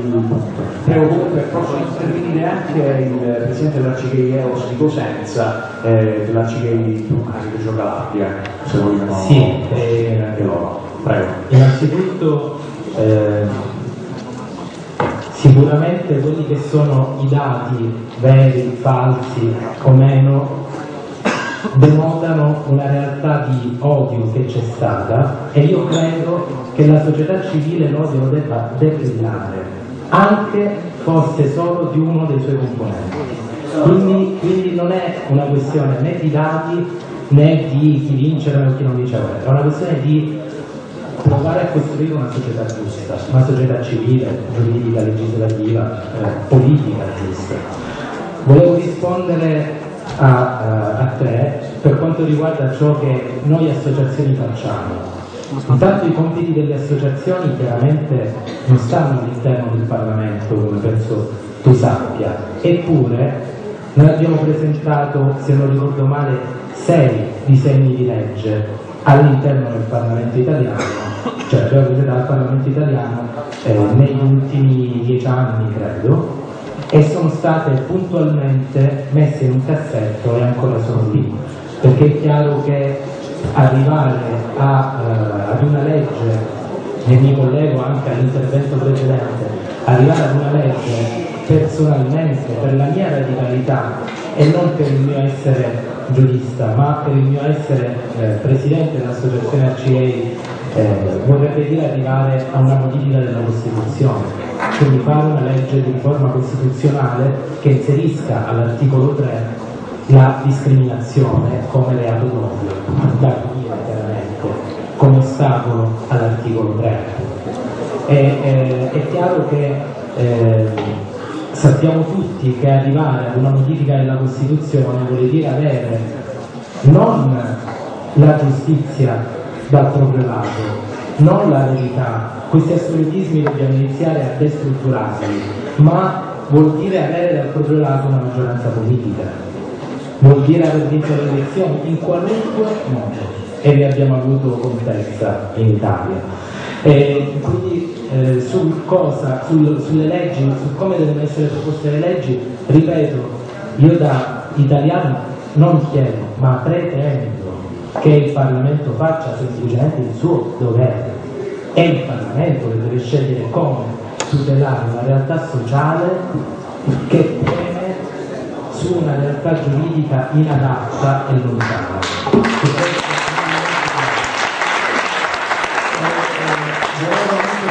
un accenno a quello che è l'attività delle arcigay in Calabria. Noi siamo probabilmente, no probabilmente, la penultima regione in Italia nella quale sono nati i comitati arcigay. L'ultima è il Molise, che ancora non ha un comitato arcigay. Come al solito la Calabria è sempre in ritardo, è la più omofoba dell'Italia, l'Italia è la più omofoba dell'Europa e noi al solito siamo gli ultimi ma eh, la nostra attività è parte costante. A Reggio Calabria abbiamo aperto con la provincia di Reggio un osservatorio contro le discriminazioni, abbiamo avuto una sede, Cosenza è un comitato che ha anni, 11 anni di vita, eh, c'è una realtà associativa molto forte e molto marcata. Quello che eh, ciò a cui ci stiamo rivolgendo in quest'ultimo periodo negli ultimi tre anni noi come Reggio Calabria ci siamo rivolti alla formazione all'interno delle scuole per gli alunni su tematiche di diversità e eh, inclusione sociale. Eh, per quanto riguarda invece eh, l'anno che viene, il MIUR, in base all'ultimo decreto ministeriale del ministro, della ministra Carrozza, ha eh, stanziato 10 miliardi di euro alla formazione dei docenti e noi abbiamo avuto settimana scorsa un incontro con il sottosegretario della ministra Carrozza a Vibo Valencia per iniziare a fare corsi di formazione all'interno delle scuole della realtà calabrese, della realtà scolastica calabrese, eh, ai docenti e ai dirigenti scolastici. Quindi io credo che quello che è il cambiamento sociale e culturale stia iniziando. Grazie. Okay. Associazione eh, certi, certi, diritti, Marco Marchese, prego. Posso solo una, visto che ero rimasta in coda, giusto per rispondere a una cosa, perché ha detto una cosa abbastanza prego. seria, cui, dopo aver lasciato a Lucio le risposte più di rito e più... Io che sono una che risponde di pancia, ti rispondo a due cose. Ehm, che gli omosessuali facciano troppo le vittime in alcuni casi, è una cosa che viene detta spesso. Credo però che sia facile parlarne dall'altra parte della barricata, ok? E ti spiego anche perché. Per chi passa il suo tempo a scherzare con gli amici, per, dicendo per esempio se uno mette una magliettina viola, ah, sembri un ricchione, e ridete, perché lo stai dicendo a un ragazzo eterosessuale perché è una battuta, ok? Lo dite in maniera offensiva, la persona omosessuale che ti sente dire questo è offesa mortalmente, perché tu stai usando quello che è il suo orientamento sessuale come offesa per qualcun altro e ci ridete sopra. Secondo te questo non ti rende una vittima? Non ti fa star male, non ti fa vivere male, non ti fa avere problemi ad andare a scuola la mattina? C'è un ragazzo omosessuale, non c'è da dire a lui. E tu come lo fai sapere? Tu sei sicuro che tutti gli omosessuali ti dicano solo lei? Non sto scherzare? Non sto dicendo questo, ti sto cercando di dire un'altra cosa, a prescindere da quello che tu puoi o non fare per te stesso, ti sto facendo una riflessione aggiuntiva. Poniti il problema di perché un omosessuale si senta vittima nel momento in cui questa è la gestione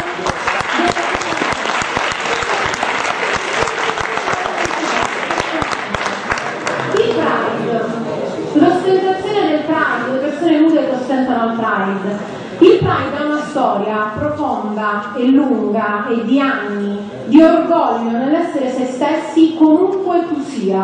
Il Pride è giornata in cui noi abbiamo il diritto e il dovere, io ritengo anche, di scendere in piazza e vivere noi stessi, i nostri, i nostri gusti, le nostre voglie, la nostra vita al 100% e non sto facendo una violenza a un eterosessuale, sto per un giorno all'anno evitando di fare una violenza a me stesso. Questo è. Non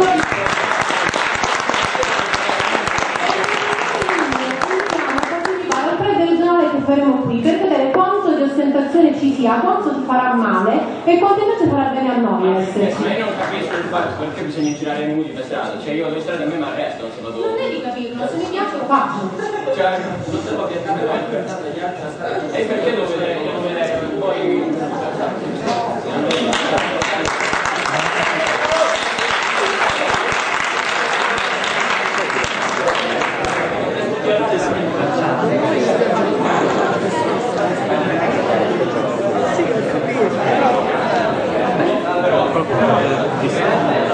Dite che c'è qualcuno.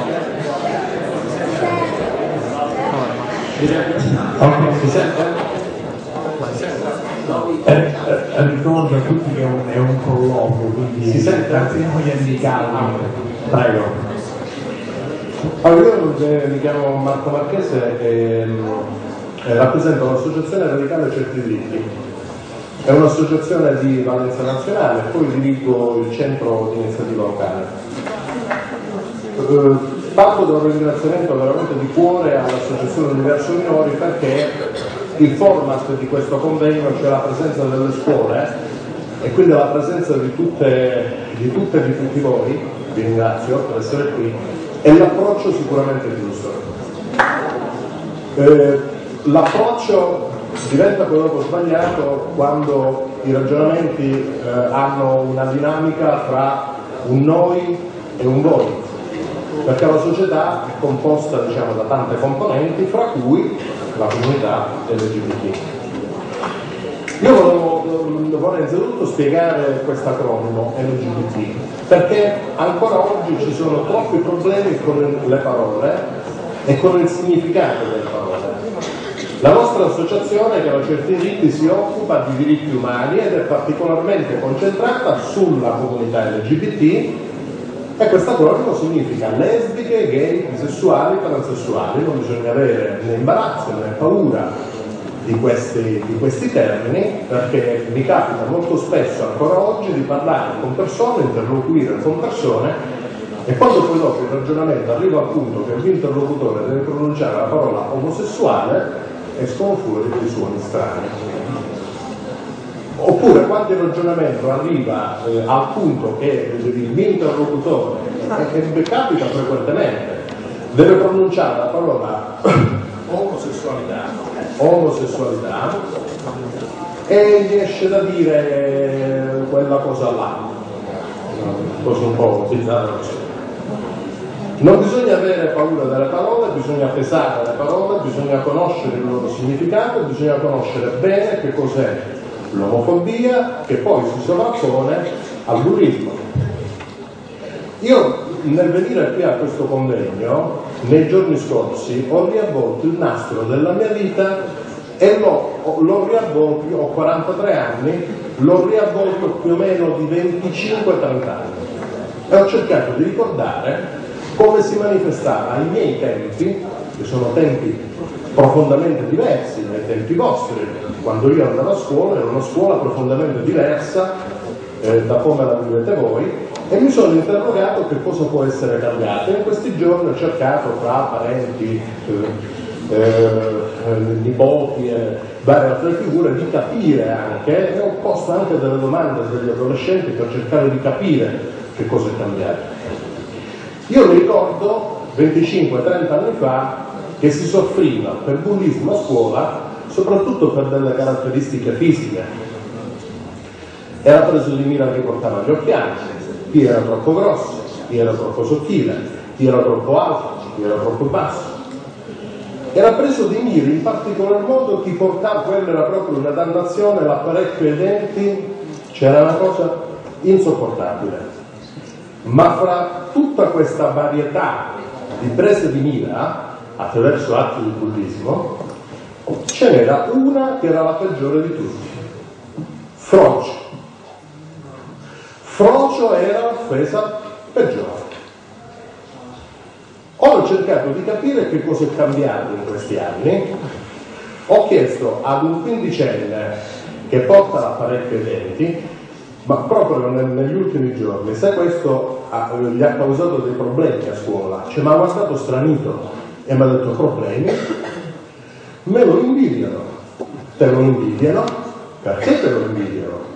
E mi ha dato questa risposta, qualcuno me lo invidia perché papà ci ha messo un sacco di soldi e me lo invidiano perché io fra tre mesi ho i denti perfetti e quello che me li invidia no. E questo voglio dire mi ha fatto molta curiosità perché ai tempi miei portare l'apparecchio era veramente nota. Poi c'era quella peggiore che era frocio, accompagnato da tutta un'altra serie di aggettivi che non ripeto per rispetto di voi che mi state, che mi state ascoltando. Poi ho cercato di capire qual è l'offesa peggiore oggi nelle scuole e qual è l'offesa che il bullo gradisce di più per offendere, eh, sminuire, denigrare, distruggere moralmente la persona che gli sta davanti. E ho scoperto che è la parola froce. In 30 anni è cambiato tutto tranne questo. Questo è un campanello d'allarme, perché significa che la società in questi ultimi 25-30 anni su questi temi non ha lavorato abbastanza. Lavinia Durantini poco fa, all'inizio del suo intervento, eh, eh, e anche Lucio D'Attola, facevano dei richiami al razzismo. Qui vale la pena fare un po' un approfondimento. E ricordatevi questa data, poi avete questi spettacolari aggeggi che io ancora faccio fatica, ma voi siete bravissimi, per cui se vi annotate mentalmente delle parole chiave e qualcosa non è chiaro, andate qua sopra, lo trovate in 5 nanosecondi.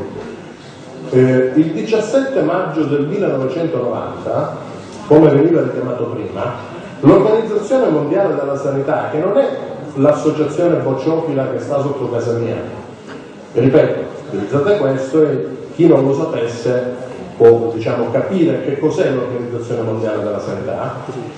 E non solo, già eh, questa stessa parola richiama qualcosa di importante, appunto come veniva richiamato prima, ha derubricato l'omosessualità dal proprio manuale diagnostico, l'ha tirato via dalle malattie mentali, però ha fatto un'operazione molto più importante, ne ha dato una definizione, perché all'epoca, e parliamo di 24 anni fa, non era sufficiente togliere l'omosessualità dalle malattie mentali e dire fino ad oggi abbiamo considerato le persone omosessuali dei malati, da oggi non li consideriamo più in questo modo. Ha fatto qualcosa in più, ne ha dato la definizione ufficiale di omosessualità. Allora c'è uno sbaglio, di, c'è un errore di metodo. Noi non dobbiamo partire in questo convegno dove si parla di omofobia, diamo una definizione di omofobia, perché la definizione di omofobia è semplicissima, odio contro le persone LGBT, lesbiche, gay, bisessuali e transessuali. La domanda corretta, secondo me, è dare una definizione di che cos'è l'omosessualità. E allora eh, andiamo a richiamare questa definizione. Quattro parole. Variante naturale del comportamento umano. Avete sentito la parola sessuale in questa definizione? Variante naturale del comportamento umano. Se fosse stata scritta questa definizione, variante naturale della sessualità umana, potevamo ancora stare nel campo delle scelte ugualmente da tutelare, ugualmente da difendere, ma delle scelte, ma sono un'altra cosa. Invece l'organizzazione scientifica della sanità più autorevole al mondo 24 anni fa ne dà questa definizione, variante naturale della- del comportamento umano. Eh, voglio porvi delle domande. Se l'omosessualità è una variante naturale del comportamento umano, come possiamo dare un'altra definizione a questa cosa? Possiamo diciamo sintetizzarla dicendo che l'omosessualità è una caratteristica umana. Che cosa sono le caratteristiche umane? Una caratteristica umana può essere per esempio il colore della pelle diverso da quello che abbiamo tutti noi qua dentro, più scuro, chiaro, quello che volete. Un'altra caratteristica umana può essere per esempio l'appartenenza ad un'etnia, ad una razza. Allora, tutte queste cose vengono ricondotte, tutte queste forme di odio vengono ricondotte a quel concetto che è stato richiamato, e qui io volevo fare appunto questo approfondimento, che è il razzismo. Io posso accettare da persone, da attivista della comunità LGBT, razzismo a sfondo omofobo, però non riesco ad accettare più la semplice omofobia. Prima provocatoriamente si è detto, beh, gli omofobi dovrebbero essere curati. Scusate, dobbiamo aprire le cliniche psichiatriche anche per i razzisti. I razzisti sono semplicemente gente ignorante che odiano, non c'è niente da curare. L'unica cura per i razzisti sono ad esempio iniziative come questa. Sono le iniziative che si possono fare a scuola. E ogni manifestazione di odio, di violenza nei confronti delle persone omosessuali e delle persone transgender, non li dimentichiamo, qui apriamo una porta, purtroppo tempi stretti non possiamo affrontarla, però tutte queste manifestazioni sono manifestazioni che si combattono con che cosa? Che si combattono cercando di cambiare quotidianamente un certo nostro modo di pensare, perché ho sentito diverse volte, anche qui, la parola diversità. E poi vicino alla diversità escono fuori tutta una serie di concetti, il mondo è bello perché è vario, la diversità è una ricchezza, la diversità è cultura, frottole. Quello che generalmente viene considerato diversità, io sono, sono una persona felice, lo dico, nonostante viviamo in un paese, poi vi spiego, tollerante, vi spiego se è una cosa positiva o negativa fra un attimo, no? però ci tenevo a spiegarvi questo. Io sono una persona felice e lo sono diventato il giorno in cui non, dal giorno in cui non riconosco più le diversità umane. Sono diventato una persona felice quando quello che generalmente viene definito diversità per me è diventato varietà umana. E le varietà umane mi hanno, eh, come dire, messo addosso un sentimento diverso, prima di tutto un sentimento di curiosità, di conoscere. E quando poi ho avuto l'opportunità di conoscere, allora lì mi è venuto spontaneo quello che è stato richiamato anche qui il rispetto, perché pensate che il rispetto si fa così ed esce fuori, no? Il rispetto non si fa così ed esce fuori, il rispetto esce fuori con la conoscenza. E dopo del rispetto ho incominciato ad amare le varietà umane. Per me la parola diversità non esiste più. Ultimo argomento che volevo affrontare in questo mini percorso che ho voluto portare brevemente da un punto A a un punto B e spero che tutti voi ragazzi possiate restare ancorati su questo punto B e poi incominciare a muovere dei passi con la testa vostra. Parliamo un po', ecco quest'ultimo argomento, parliamo un po' del nostro paese, l'Italia. L'Italia è un paese tollerante. Secondo voi è qualcosa di positivo? Per me no. Certo, se faccio il paragone, eh, omofobia in Italia, paese tollerante, omofobia in Iran, dove si viene impiccati, è chiaro che preferisco un paese tollerante. Ma un paese tollerante ha quel fondo di razzismo dove innanzitutto si tende a pensare sempre ma fino a quando non mi danno fastidio boh. Forse mi danno fastidio, vediamo. E quindi già questo non va bene. Un paese tollerante è quel paese che non riconosce diritti e quindi non riconosce alla comunità LGBT legittimazione. Di conseguenza noi tolleriamo che ogni tanto più o meno 5-6 persone all'anno possono essere uccise per il proprio orientamento sessuale. E noi tolleriamo che migliaia di persone possono essere eh, ehm, eh, vittime di violenza e noi tolleriamo che centinaia di migliaia di persone si devono sentir fare dei ragionamenti omofobi a colazione, a pranzo e a cena. Questo è un paese tollerante, ma non è il paese che voglio. Il paese che voglio è un altro, è un paese che bandisce la parola diversità, riconosce invece la varietà umana, la accetta, la rispetta e la ama. Con questo volevo concludere e quindi mi auguro che potete portarvi diciamo, questo spunto di riflessione a casa e poi, ahimè, tocca a voi fare uno sforzo per migliorarla un millimetro al giorno ma nella direzione giusta questa nostra società che ancora è tutt'altro che giusta. Quindi.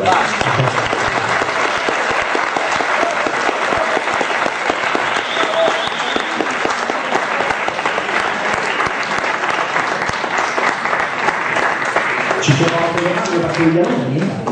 Ok, prego. Risponderà Sebastian Ciaccio. Prego.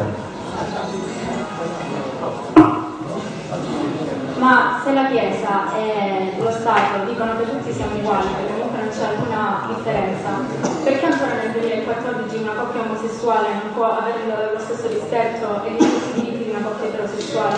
A questo punto anch'io, essendo una ragazza in colonia, potrei essere considerata diversa, però questo non succede, perché? Perfetto. Sembra una domanda particolarmente veloce perché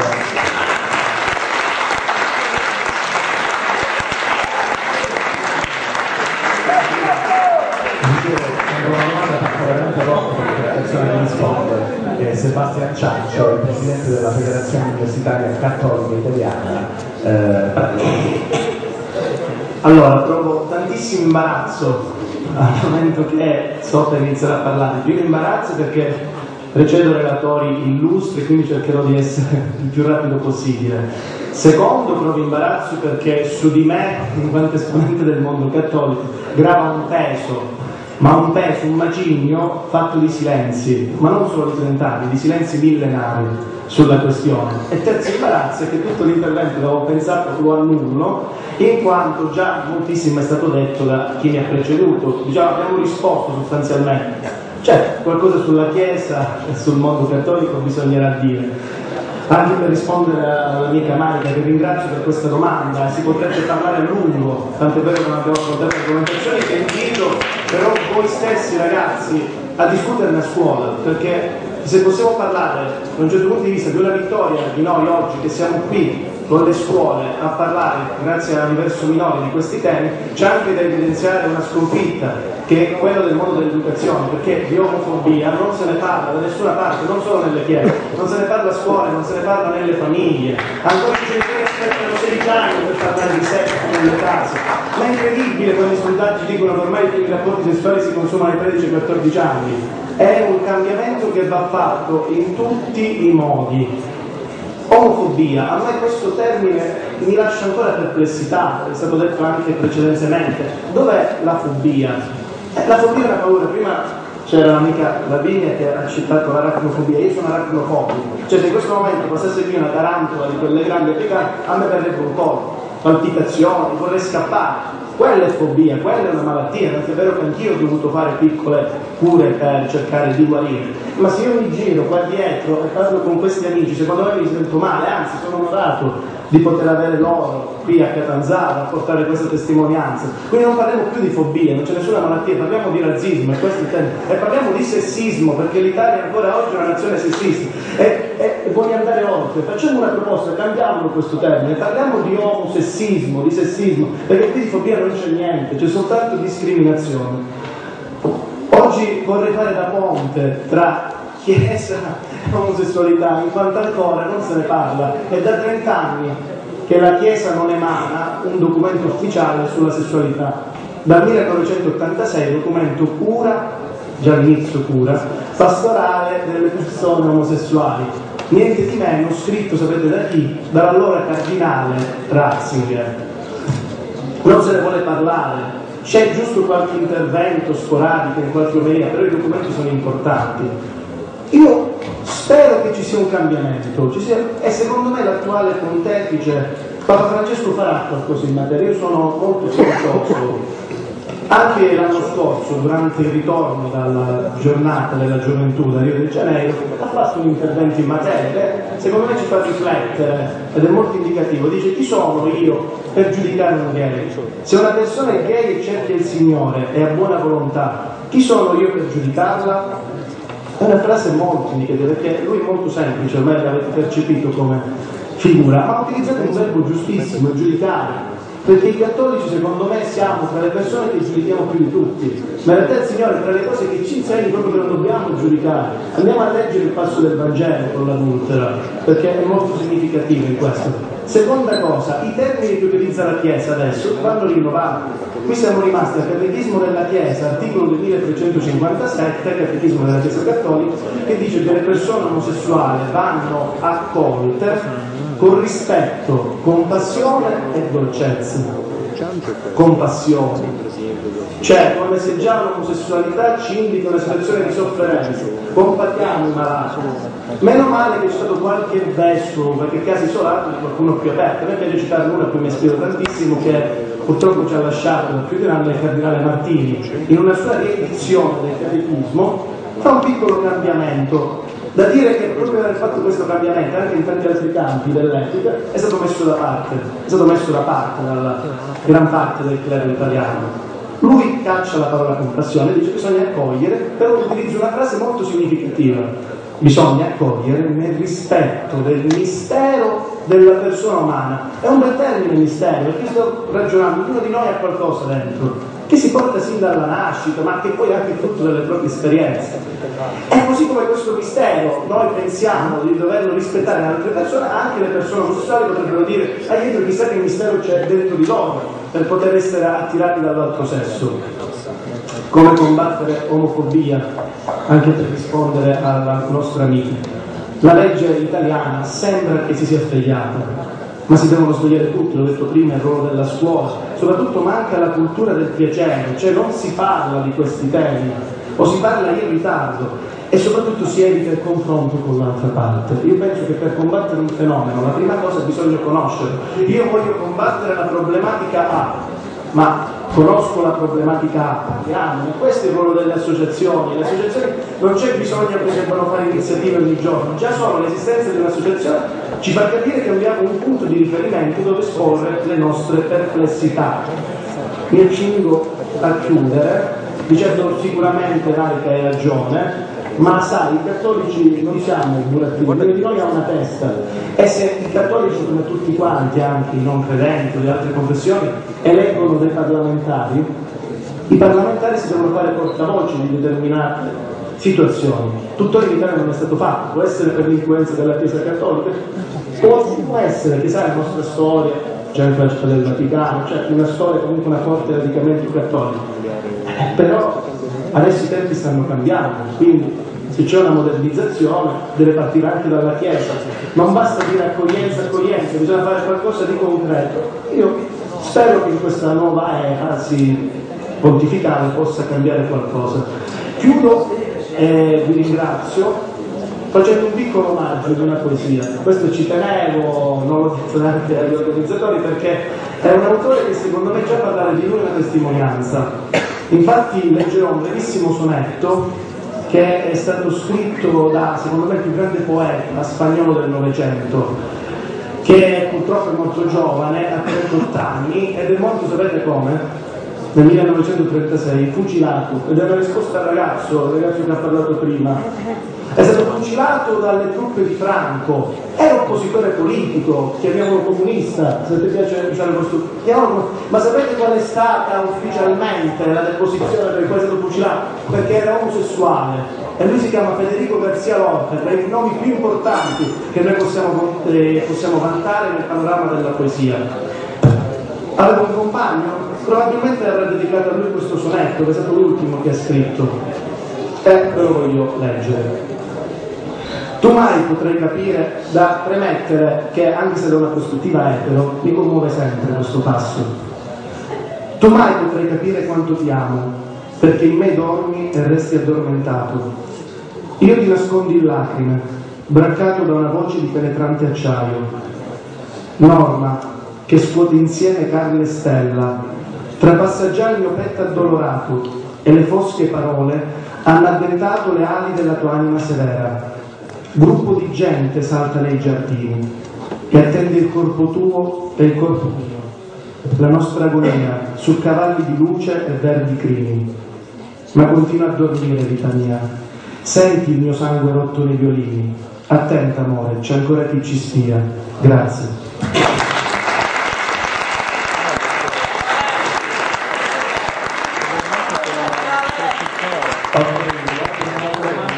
Mattina Luna che verranno gli avvocati Platini e Bianchi. Prego.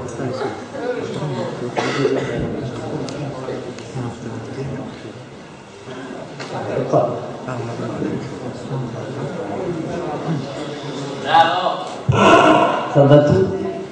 Vorrei sapere qual è la vostra posizione riguardo i matrimoni tra omosessuali.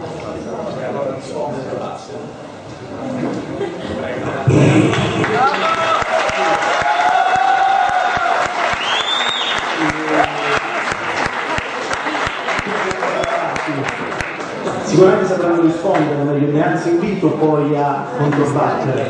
Ci sono forme di matrimonio, non facciamo lezioni, ci siamo seccati storia. C'è la forma civile, diciamo classica, e quella in chiesa. E devo dire che a mio modo di vedere cambia la situazione, perché sull'unione civile non si discute, è giusto che il diritto alla felicità americana debba essere anche tradotto qui in Italia, tutti abbiamo il diritto di essere felici e fare famiglia. Sulla questione sacramentale del matrimonio in chiesa, eh, purtroppo è inutile ora metterci citare fonti, la Bibbia.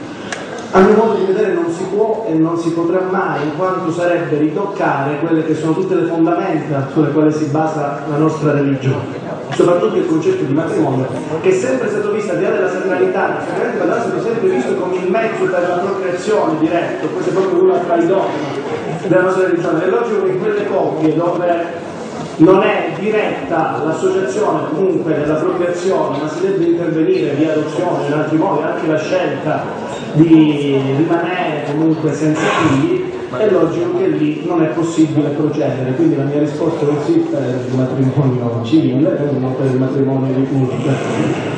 Ok, ok, a questo punto possono parlare gli avvocati Bianchi e poi in quest'ordine, grazie.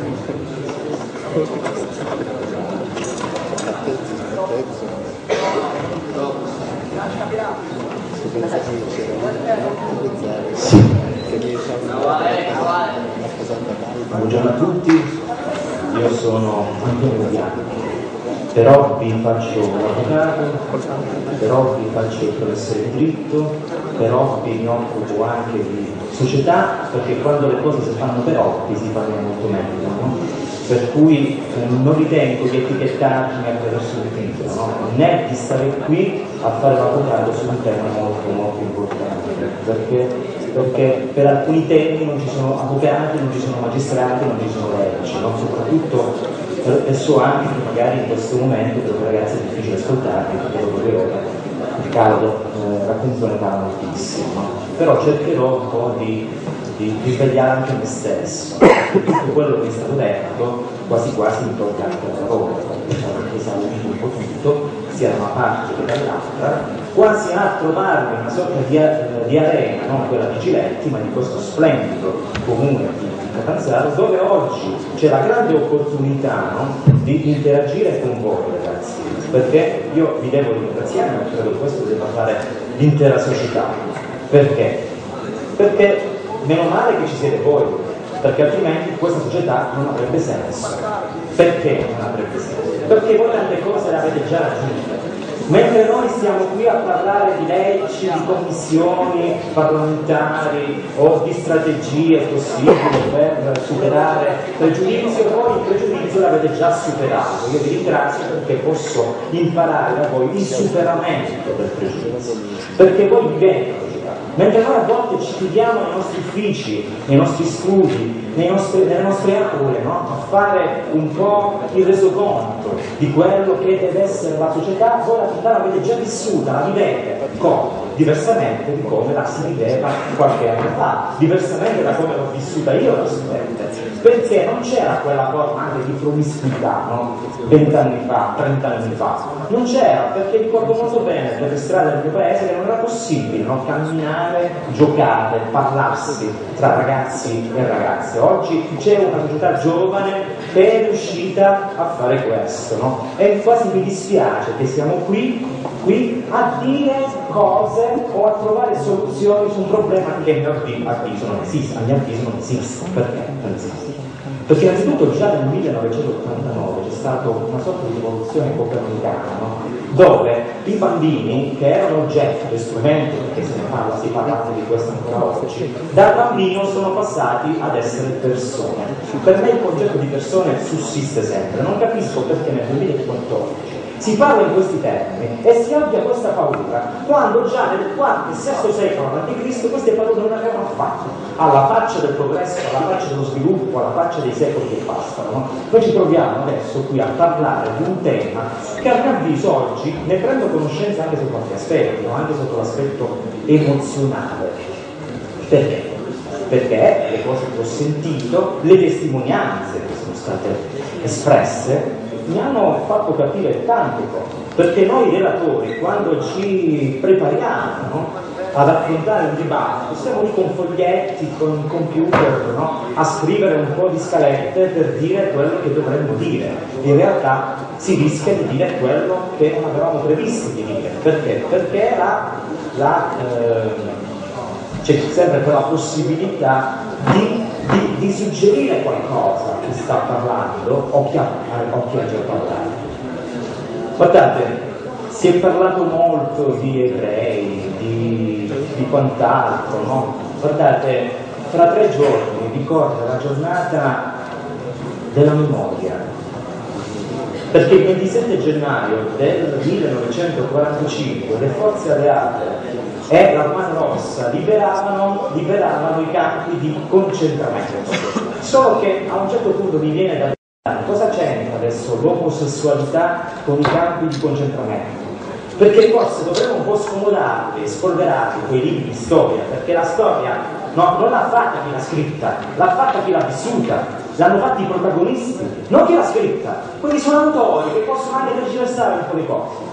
Io posso scrivere delle cose perché mi sono documentato, ma posso scrivere anche delle residue, posso scrivere anche in, in maniera erronea no? la storia, posso tergiversare in base anche al mio punto di vista, al mio punto di vista politico, ideologico, quindi a volte le storie sono ingannevoli, perché c'è stata anche una sorta di dispersione no? di orientamento, altro che orientamento sessuale, orientamento delle idee, una sorta di dispersione di omosessuali veniva guardate, l'omosessualità è stata perseguitata soltanto dai tedeschi, solo nei confronti degli omosessuali tedeschi, non degli omosessuali italiani, ungheresi, francesi, al contrario di quello che è avvenuto per gli ebrei, perché gli ebrei sono stati sterminati in 6 milioni, anche 7 milioni gli, eh, gli omosessuali erano solo 7.000 ad essere stati uccisi, 60.000 internati, attenzione, nel 1933 sono stati i primi ad essere internati, ma solo in Germania, solo in Germania. Pensate che nel 1936, durante le Olimpiadi, furono eh, diciamo, sfruttati a, a, ripulire le strade di Berlino. Quindi la maggior parte furono processati solo perché c'era un articolo 165, tra l'altro vergognoso perché è stato in vigore fino al 1994. Quindi io credo che quella Germania sia ravveduta, forse è ritardo ma sia ravveduta, ma dal 1871 al 1994 era in vigore nel codice penale il paragrafo 135 con cui si processava gli omosessuali perché la Germania non tollerava un rapporto sessuale tra uomini, non tra donne, tra uomini. Solo successivamente nel 1994, e poi è stato anche nel 1969 la liberazione, insomma un movimento di liberazione omosessuale, pertanto pensate, pensate che etichettavano gli omosessuali durante, la, durante lo sterminio non ancora con il triangolo rosa, ma con un braccialetto, braccialetto sul quale giallo c'era incisa una A maiuscola che voleva dire in termini tedesco, adesso non mi ricordo il termine, voleva significare sodomita. sodomita. Poi successivamente, in base a quella filosofia iconografica, di quella cultura teutonica è del nazismo, si, eh, furono etichettati con il triangolo rosa. Eh, tra l'altro, tra l'altro i, eh, coloro che poi furono liberati dalle forze alleate non furono nemmeno liberati perché processati in quel periodo se avevano già, ad esempio, un omosessuale che viene condannato a 8 anni di reclusione in base alla violazione dell'articolo 175 del codice penale in vigore quel periodo e aveva scontato 5 anni e poi veniva internato nei campi di concentramento per tre anni, quei tre anni li doveva poi riscontare in carcere perché non era prevista la liberazione a differenza degli ebrei. Io quindi credo che gli omosessuali siano stati anche eh, perseguitati diversamente dagli ebrei, però solo i tedeschi. Quindi noi italiani forse questa piaga, almeno da quel punto di vista, non l'abbiamo, non l'abbiamo, non l'abbiamo seguita. Però voglio dire, perché oggi siamo qui ancora a parlare di queste cose? Eppure l'omosessualità oggi rappresenta una forma di amore. Lo rappresentava nel IV e VI secolo a.C., ma voi lo ricordate a quel filosofo Socrate, che, del cui era innamorato Alcibiade, il suo discepolo, no? E allora si cercava di, attraverso Plutarco e attraverso altri autori greci, di trasmettere quello che era l'amore greco. Ora stiamo parlando del IV e VI secolo a.C., finanche durante il periodo in cui viveva Gesù, non ci viene parlato, non ci viene detto nulla Si parla di prostitute, si parla di tradimenti, di adulterio, ma dal Vangelo non viene la non viene fuori, chissà perché non viene fuori. Qualcuno non l'ha voluto tirare fuori. Eppure sto parlando del VI secolo a.C., quando questa figura c'era, quando questo amore era, diciamo, espresso liberamente, senza che qualcuno se ne disegnasse. Invece oggi, invece oggi stiamo qui a parlare di omofobia. Innanzitutto, etimologicamente parlando, mois significa lo stesso e fobia paura, quindi paura dello stesso. Dovremmo parlare, perché se è vero, se si parla di diversità, dovremmo parlare di eterofobia, cioè paura dell'altro, cioè del diverso, perché etero significa diverso, significa altro. Ma guardate ragazzi, lo dico a voi, io non ho paura dell'omosessualità, io ho paura dell'eterosessuale che per strada si ferma e sfrutta quelle ragazze e quelle donne lì che stanno lì a prostituirsi, no? Quella è schiavitù da parte dell'eterosessuale, perché non rispondere? È quella società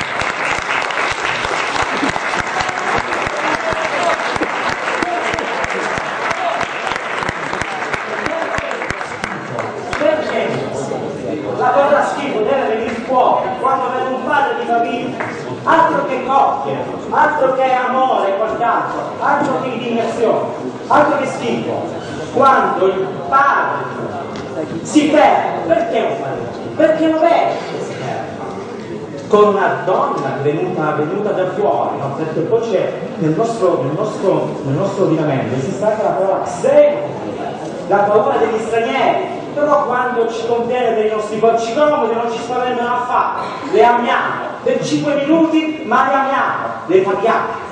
Di questo ho paura. Ma questo mi fa schifo, cari amici. Questo mi fa schifo. Mi fa schifo il signore che si ferma e c'ha i figli. Sapete dove c'ha? Io credo che c'ha i figli, perché ora in, in macchina ci sono i seggioloni dietro. Quindi suppongo che quella persona abbia dei figli a casa. E va lì, e va lì a incamerare virus perché voi lo sapete benissimo che siamo una società di virus, siamo una società di contagio continuo, no?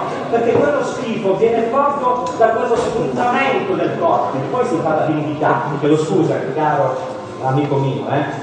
hai forse anche ragione, ma il nudo non lo troviamo nelle pubblicità, la pornografia non la troviamo nelle nei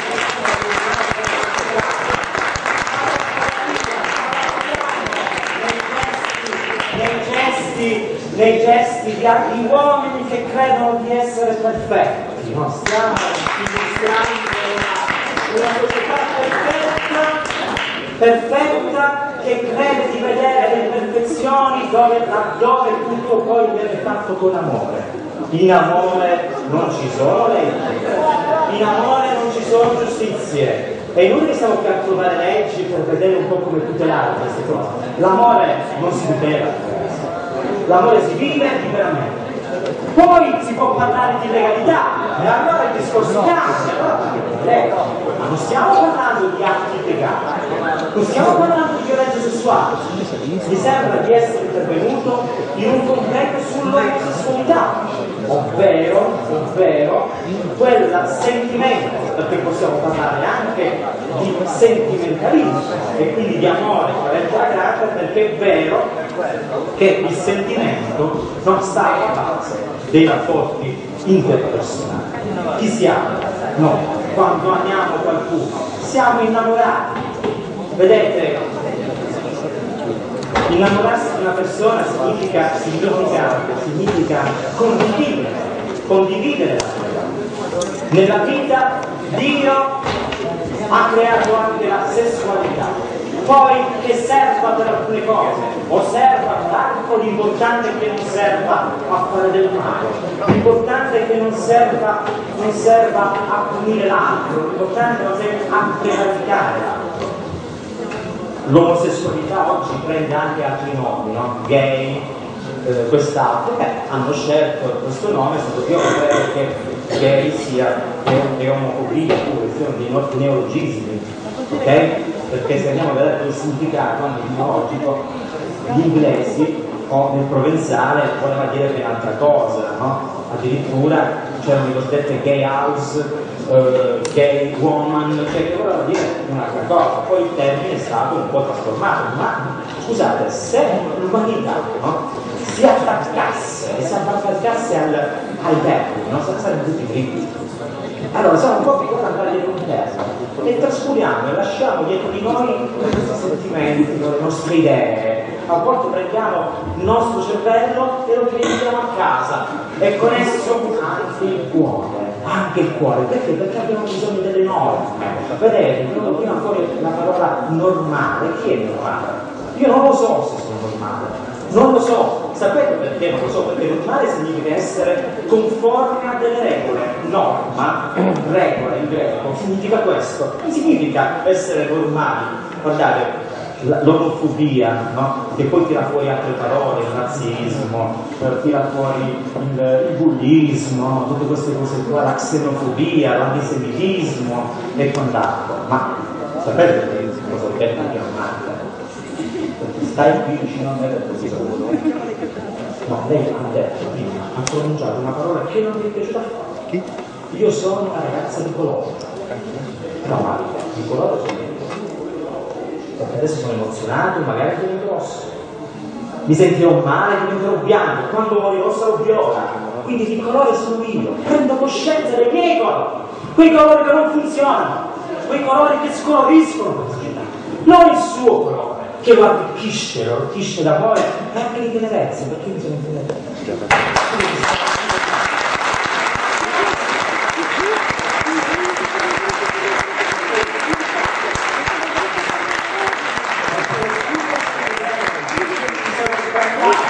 A volte gli sfratti servono, no, ho sfrattato, ho fatto la compagna, no, Infatti ho evitato di intervenire per la buona. voglio che ci sia, che ci sia, che ci sia, abbiate pazienza, ma ho avuto anche un po' di pazienza nel dire quello che volevo dire, insomma, e quindi anche perché arrivare qui non è stato semplice, no? 190 km, ma la Calabria è lunga, la Calabria è fatta anche di belle persone, anche di uomini che credono in certe cose, quindi non stiamo qui a dire che siamo sempre gli ultimi, perché ci sono anche persone che vogliono portare avanti questa regione. Io sono qui anche per salutare no, questa associazione Universo Minori perché faccio parte anche del comitato scientifico dell'Osservatorio Nazionale sui diritti minori e porto il saluto anche dell'Osservatorio eh, Nazionale a questa associazione che mi ha invitato, ma questo qui non ci sono i suoi rappresentanti. Io mi sono permesso di, di tirar fuori un po' queste cose qui, no? Perché? Perché le fobie che vengono fuori, allora devo dire che noi siamo una- un paese, una società di paurosi, abbiamo paura di tutto. Poi quelle fobie, quelle fobie che ci mettono in difficoltà diversamente dal punto di vista della coscienza, le veniamo a contare in alcuni contesti per giustificarle, per farci vedere che siamo anche perfetti e che siamo anche forti, no? che siamo pronti a combattere qualcosa. Eh, scusate, a questo punto allora mi vergogno di essere eterosessuale, a questo punto mi vergogno di pensare delle cose, perché io l'altra sera ho visto una trasmissione Lucignolo dove alcuni due ragazzi omosessuali sono stati presi, loro si sono prestati a questo, a questo esperimento e loro sono andati in una, in una città diversa dalla loro, si camminavano per mano mm, facevano la spesa e tutti, tutti si meravigliavano, si scandalizzavano. Ma chi sei tu? Chi sei tu? Chi sei tu? Un padre che un padre separato, un padre che ha maltrattato i figli, chi sei che ti, ti scandalizzi? Un padre che non corrisponde agli alimenti, un padre che si è dimenticato di dialogare, chi sei? Sei un padre che guarda la televisione anziché parlare, chi sei per scandalizzare? Chi sei? Chi sono per scandalizzare? Un, uno, un cittadino di questa società che ha trascurato altre cose, ha dimenticato che cos'è essere davvero cristiano. Io non sono cattolico, io sono cristiano, perché dire essere cattolici è troppo universale, è troppo generico. Perché essere cristiani significa essere conformi a Cristo, non alla Chiesa. La Chiesa può avere anche dottrine diverse. Cristo aveva una sola dottrina, la dottrina dell'amore non altre gerarchie,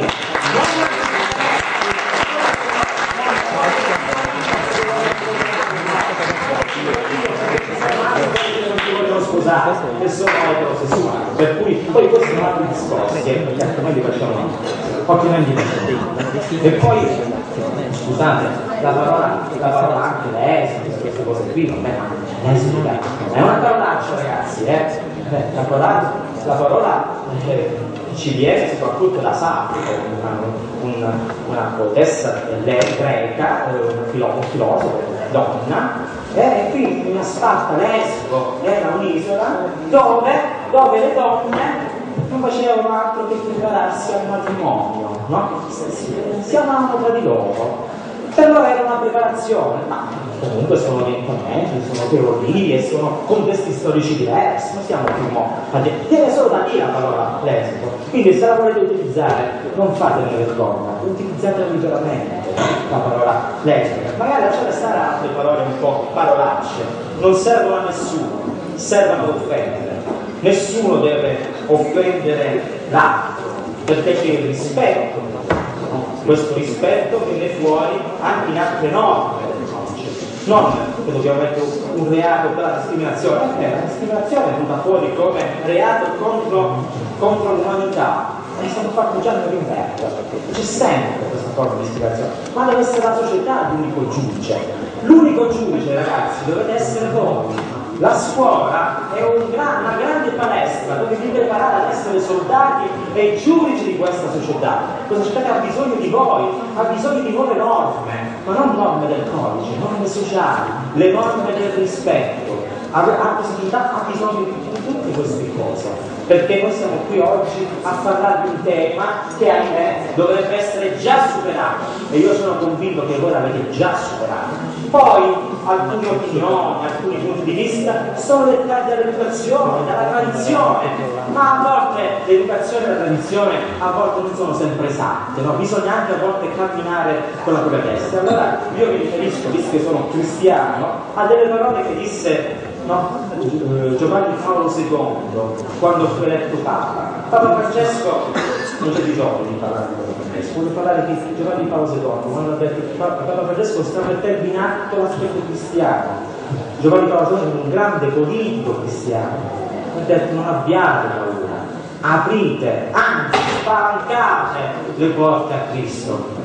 Non le possiamo spalancare le porte a Cristo, non le possiamo aprire se siamo un popolo pauroso, se siamo un popolo omofobo, se siamo un popolo razzista.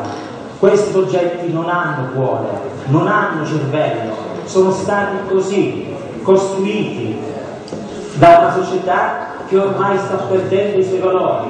A voi ragazzi il compito di riprenderlo in mano e fare grande cosa. Grazie.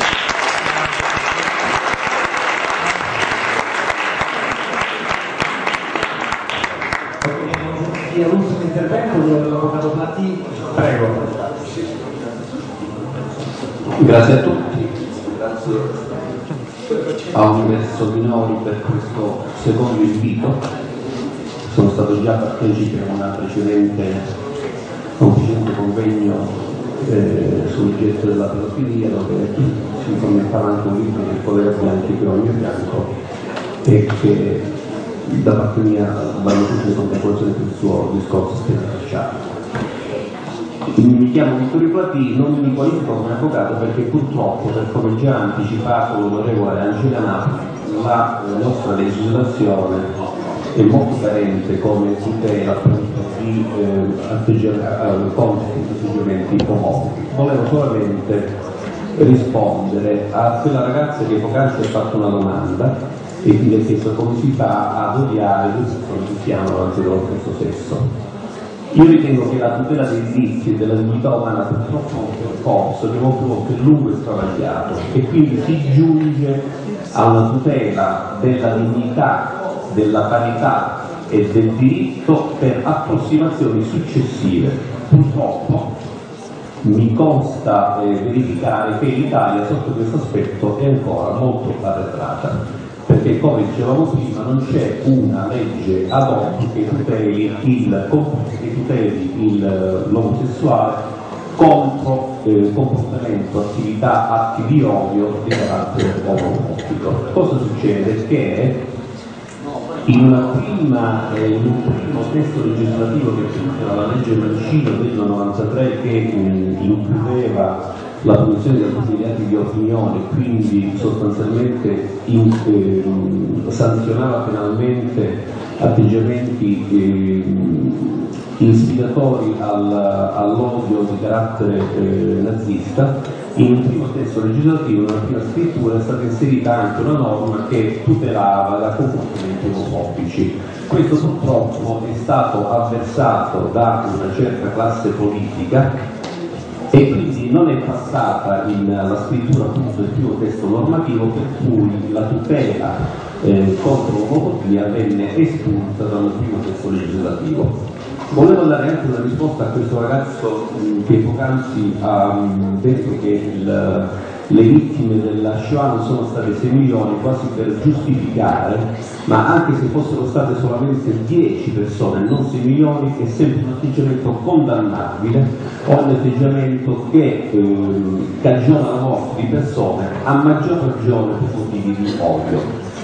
Ed è necessario capire che grazie, alla, grazie al sacrificio dei nostri compatrioti noi e voi tutti eh, vivrete in una società dove vi è una massima tutela del diritto e quindi dovete essere, dovete considerare una categoria privilegiata perché come da qui a poco vi esporrò ci sono dei paesi dove alcune categorie di persone come anche gli omosessuali non sono affatto tutelati ma anzi sono condannati a morte.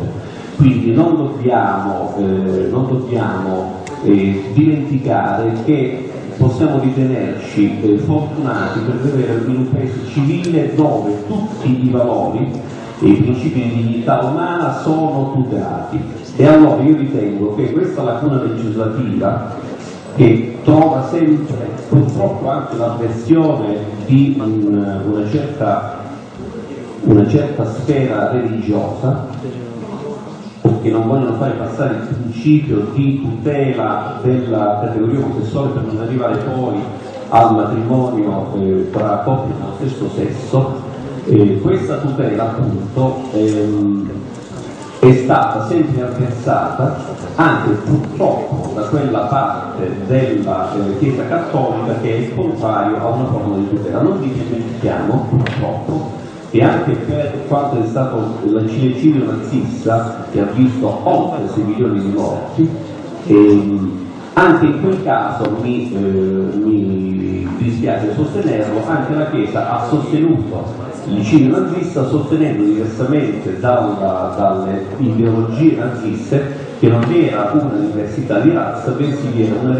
una diversità religiosa e quindi non ha fatto altro che avallare oltre 6 milioni di morti che sono avuti durante quel periodo nero della nostra storia.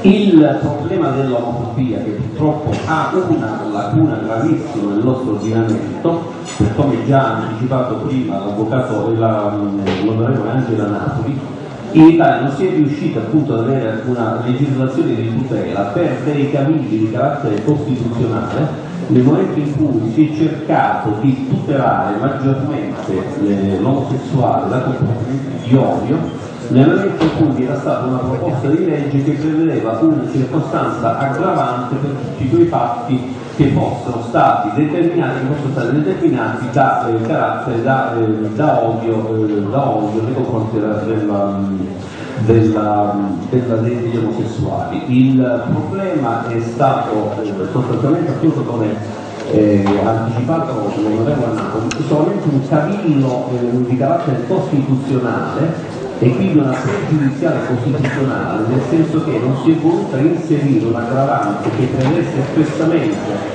una maggior pena per tutti quegli atti tutti quegli atti che eh, erano contrari e quindi che suscitavano l'odio nei confronti omosessuali per una violazione dell'articolo 3 e quindi di uguaglianza di. Quindi hanno sostenuto, e tra e tra questi anche mi pare l'onorevole Giustiglione, ha sostenuto che creare una forma di circostanza aggravante per una determinata categoria di soggetti violava il principio di uguaglianza eh, stabilito con l'articolo 3 Il problema fondamentale è che la tutela appunto della la, la condanna diciamo, del- dei comportamenti omofobici ha una tutela che possiamo eh, dire che è una tutela macchina di leopardo appunto nell'ambito dell'Unione Europea che ha sempre eh, invitato i paesi ad adottare legislazioni di nei confronti dei omosessuali. E mentre noi assistiamo alcuni paesi come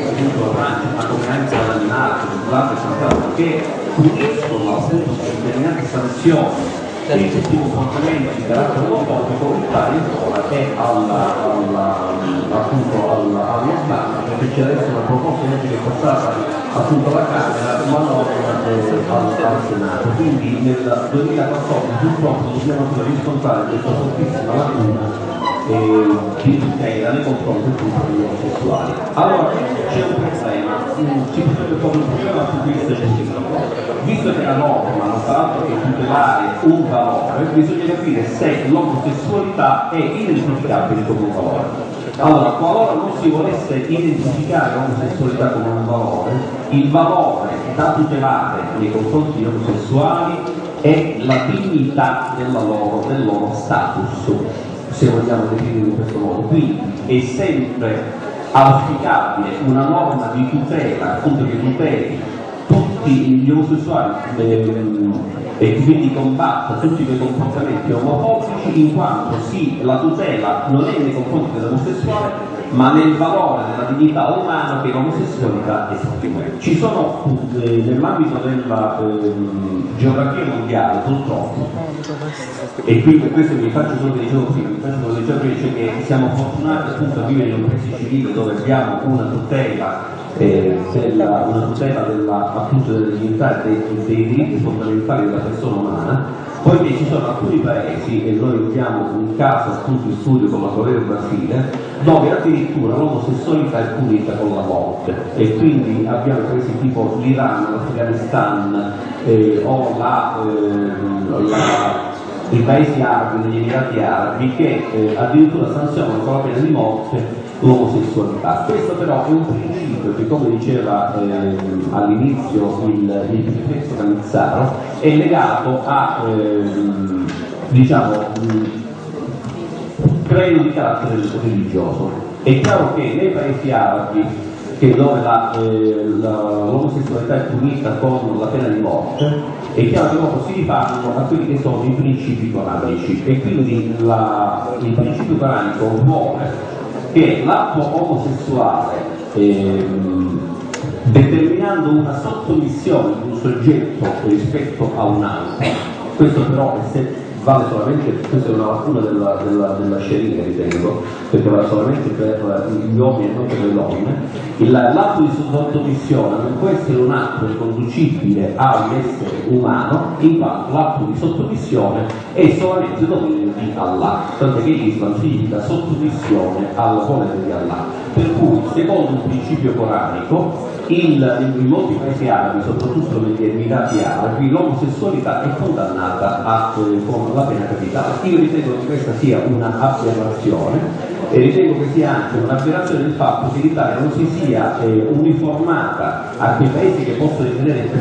civili di noi sotto questo aspetto, in quanto non sia stata dotata ancora di una legislazione a tutela del, di comportamenti di odio nei confronti degli omosessuali. Un'ultima notazione sempre per rispondere al ragazzo, questo ragazzo con la camicia verde che si lamentava ormai appunto nell'ambito dei gay pride, si, eh, si, sì, nell'ambito dei, dei gay pride che, dove si vede appunto gli omosessuali che meno nudi, io sicuramente ritengo che questa loro manifestazione sia una manifestazione di estremismo, ma ritengo che sia ancora più estremo l'atteggiamento dell'Italia che non tutela determinate categorie. Quindi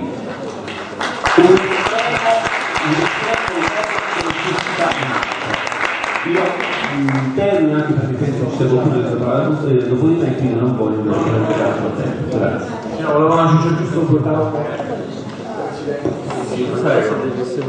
giusto per chiarezza per verità storica eh, una risposta all'avvocato Bianchi eh, nel confronto assolutamente non per la polemica eh, il paragrafo 175 è stato istituito dalle leggi prussiane, quindi ancora prima del Terzo Reich è stato inasprito dalla, dalla realtà, dal, appunto dal, ehm, da Hitler, dal, per, appunto come, eh, eh, come condizione che deve essere uccisa o curata in tantissimi aspetti. Eh, però in Italia è vero non è mai stata normata una legge contro gli omosessuali, ma perché come lei insegna il codice Rocco e l'Italia di quel periodo non poteva minimamente considerare la presenza rispetto alla virilità dell'uomo italico di uomini omosessuali, quindi non era minimamente considerato. E eh, peggio essere eh, sbagliati o peggio essere nulla? Questa è sempre la grande domanda, cioè, il tempo ci darà una risposta.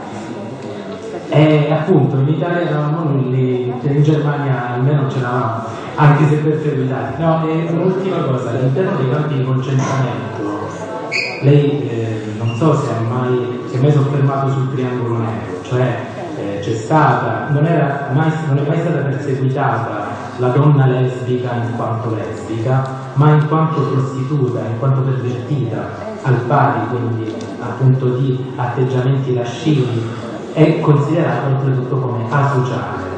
Cioè non, la, la, donna non era una persona, non era, era considerata al pari delle cose e lo dimostra anche il diritto di voto assente, che appunto in Germania non c'era, e il fatto che venissero appunto trattate al pari eh, delle prostitute. Posso dire una cosa? Io lei ha fatto bene a precisare questa cosa. Eh, ovviamente possiamo perché comunque è una legge del 1941. Ho lamentato il fatto che questo, che questo articolo sia vissuto fino al 1994, non ho potuto soffermarmi sui piattonelli, arti e tante altre vigliaccherie commesse perché in quel periodo anche nella nostra bella Italia c'erano le cosiddette leggi razziali adottate dal nostro, dal nostro Stato autoritario in cui poi io in quel momento eh, faccio i miei elogi a Benigni, no? che attraverso la sua arte, il suo film, ha fatto capire cose molto importanti. Quando c'è in questo negozio non, non, non è concesso l'ingresso agli ebrei, ai cani, allora per sfatare un po' la cosa disse al figlio, sì ma nell'altro non, non, è, non è concesso entrare agli spagnoli e ai cammelli. Ecco, però questa No, ma io mi permetto di fare- la razza ariana, quella che è stata poi anche mutuata, questo principio anche dalla nostra, da- dalla nostra bella Italia, in quel periodo storico, voleva dire anche questo, per cui solo che non abbiamo tempo per sviscerare No, no, se noi meritano, forse, Eh, forse, noi come forse osservatorio provinciale Reggio Calabria abbiamo dei dati ufficiali su non questo. avuto modo di parlare. Eh, eh, no, io ce la so, ce li scambieremo in maniera da avere una base. Eh, avremo una base concreta. Le risposte sono sulla differenza o sulla condanna da parte dell'Italia dell'omosessualità. E spero anche un'altra cosa, spero che le scuole del lunedì, io lo farò, no? si ricordino di questa giornata, perché lunedì si preferirà fare altro, geografia, italiano, ma, ma non si ricorderà questa giornata. Io spero che si faccia questo discorso ai giovani, perché i giovani hanno anche bisogno di capire quello che è successo laddove i libri non riescono a arrivare. Ultima cosa, per quanto riguarda le- gli aspetti legislativi della, della vecchia Germania, bisogna scindere quello che è l'aspetto formale da quello che è l'aspetto sostanziale, perché purtroppo per loro, per i tedeschi che hanno sempre adorato la razza ariana e quindi la razza pura, e trapela dai libri di storia che anche i più alti gerarchi nazisti fossero adusi alla, alla, alla pra- pratiche omosessuali. Quindi non guardiamo solamente quello che è una facciata e bisogna anche dare un'ulteriore notazione. L'omosessualità, che appunto come diceva prima la psicologa mh, è stata espunta quale patologia, si sviluppa, nel senso che tutte quelle comunità omosessuali in tutte le eh, comunità eh, dove c'è una, una, una- diversità e quindi una commissione tra maschi e femmine, ci sviluppa l'omosessualità e, ne- e prova ne sono i lunghi viaggi che si facevano una volta in una economia mercantile dove le merci venivano transitate con le navi, dove c'erano solamente maschi e si sviluppava l'omosessualità e una prova attuale è l'omosessualità che sviluppa nelle carceri. Quindi eh, non dobbiamo vedere il problema come un, un- un aspetto patologico perché la scienza medica da prima la vedeva come una patologia, ma è una, è una- è una- è una- una sessualità che si sviluppa. C'è poi anche una teoria, questa della psicologa più precisa di me, secondo la quale la sessualità è una scelta in base al momento di vita, cioè e, quindi in base alla, alla, alla posizione che voglio assumere. Si rimase di femmine. non, non dimentichiamo in natura che ci sono alcuni pesci che nascono maschi e femmine e muoiono femmine. Quindi è un aspetto naturale, quindi non è assolutamente una patologia, si può sviluppare ed è, ed è espressamente prevista da, eh, dalla, dalla nostra eh, natura, dalla natura delle cose. Quindi, eh, Sì, una sola cosa, titolo quindi ritengo, ritengo- ritengo che, ritengo che ehm, normare una punizione nei confronti degli omosessuali sia veramente eh, sicuramente eh, un'aberrazione del diritto, ma sia proprio contro i principi naturali. La patologia è stata mh, definita fino agli anni 70 dalla, dal DSM, dopodiché l'influenza patologica è venuta meno. E per quanto riguarda la- il divenire diciamo, omosessuale, diciamo che dicono che non siamo tutti bisessuali, quindi poi la scelta può dipendere o da una propria inclinazione diciamo, naturale o anche da eventi, come ehm, diceva prima giustamente, il fatto di eh, sperimentarsi in qualche modo omosessuale nelle carceri, ehm, appunto un- un'esperienza di vita che può magari risvegliare una, una parte insita eh, di sé. Quindi, Buongiorno a tutti, io avevo tutte le associazioni che ci sono oggi parlano contro con la povertà, l'omosessualità. Questo problema dell'omosessualità ci stato da 30 anni, ci sono stati miliardi di euro, vorrei sapere dove sono andati a finire questi soldi, perché il problema come se esiste oggi ancora c'è, povertà nel mondo.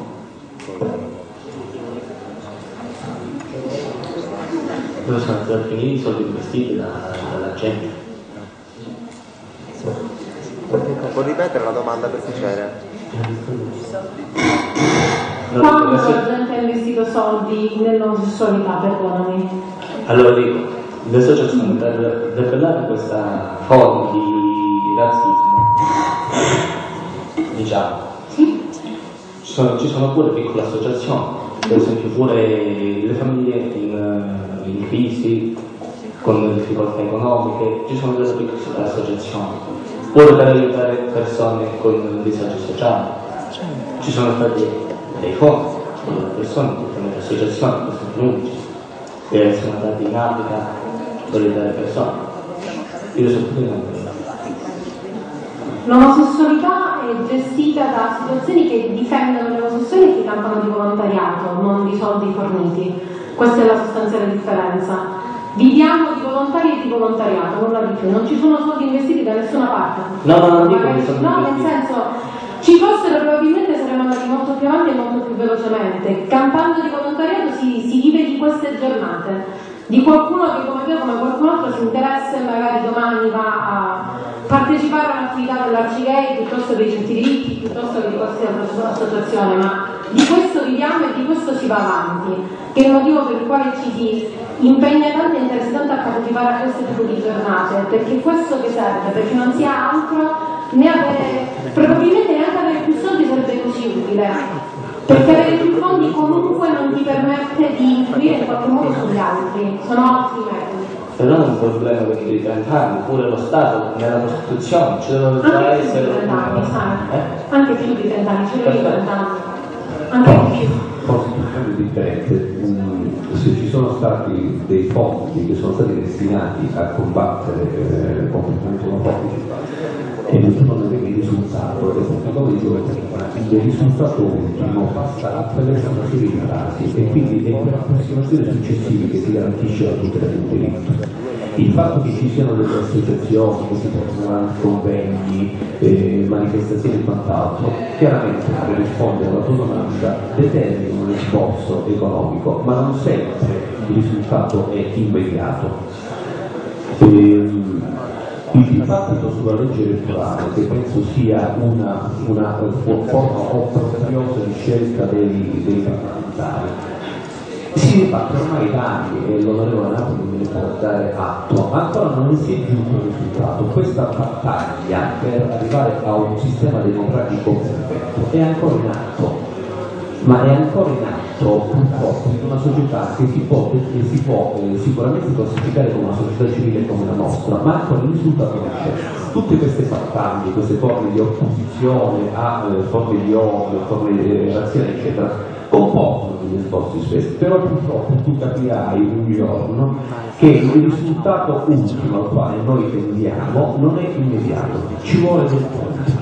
Anzi, il fatto che oggi si parli di omofobia, questo è un grande pregio della- dell'Associazione dei Verso Minori, è una, una battaglia per far eh, convalidare, per far obliterare un'idea di valore che però ha necessità di tempo. Oggi sono stati, probabilmente c'è stata un'attenzione del 30%. Bene, questa, eh, questo convegno di oggi, che ha anche determinato degli sforzi economici, ha dato un piccolo tassello per far passare un principio. Quindi l'aspetto economico rispetto a una a un- a un- alla, alla vittoria nel far passare il principio di diritto è un aspetto secondario e quindi è chiaro che è un aspetto fisiologico che eh, eh, riscontriamo in tutte le attività. Quindi non, non pensare che se sono stati spesi molti soldi per, eh, per combattere la, la fame nel mondo e quindi combattere la fame nel- nell'Africa, eh, eh, come mai ancora non ci sono i risultati? Perché probabilmente è un percorso più lungo di quello che si può aspettare. Quindi non sempre il risultato è immediato ed è proporzionale ai soldi investiti. Voglio, se possibile, finisco, aggiungere a Fabio Paolo rispetto a quello che diceva l'avvocato Platì eh, dal punto di vista proprio della tecnica di normazione e l'onorevole Napoli eh, lo sa bene. Ad esempio, quando è stata ratificata la Convenzione di Lanzarote, eh, nell'ambito della legge viene inserita la cosiddetta clausola di invarianza economica, cioè queste sono leggi che devono essere a costo zero per lo Stato. E quindi eh, diciamo, ad arrivato rispetto a quello eh, che asseriva l'avvocato Platì, non vi sono proprio degli sforzi e quindi diciamo come dire ehm, delle, eh, degli aggravi di carattere economico per lo Stato quando si vanno ad affrontare queste tematiche. Ovviamente ritengo che se una legislazione in questo senso deve assolutamente essere superata perché eh, come si suol dire eh, senza soldi messi non se ne canta. Grazie. Beh, diciamo che i obiettivi sono stati raggiunti tanto da quello che c'è stato, sono, sono contenti di un'associazione che delle tante domande poste dagli alunni. Eh, grazie a tutti quanti per essere venuti e buona giornata.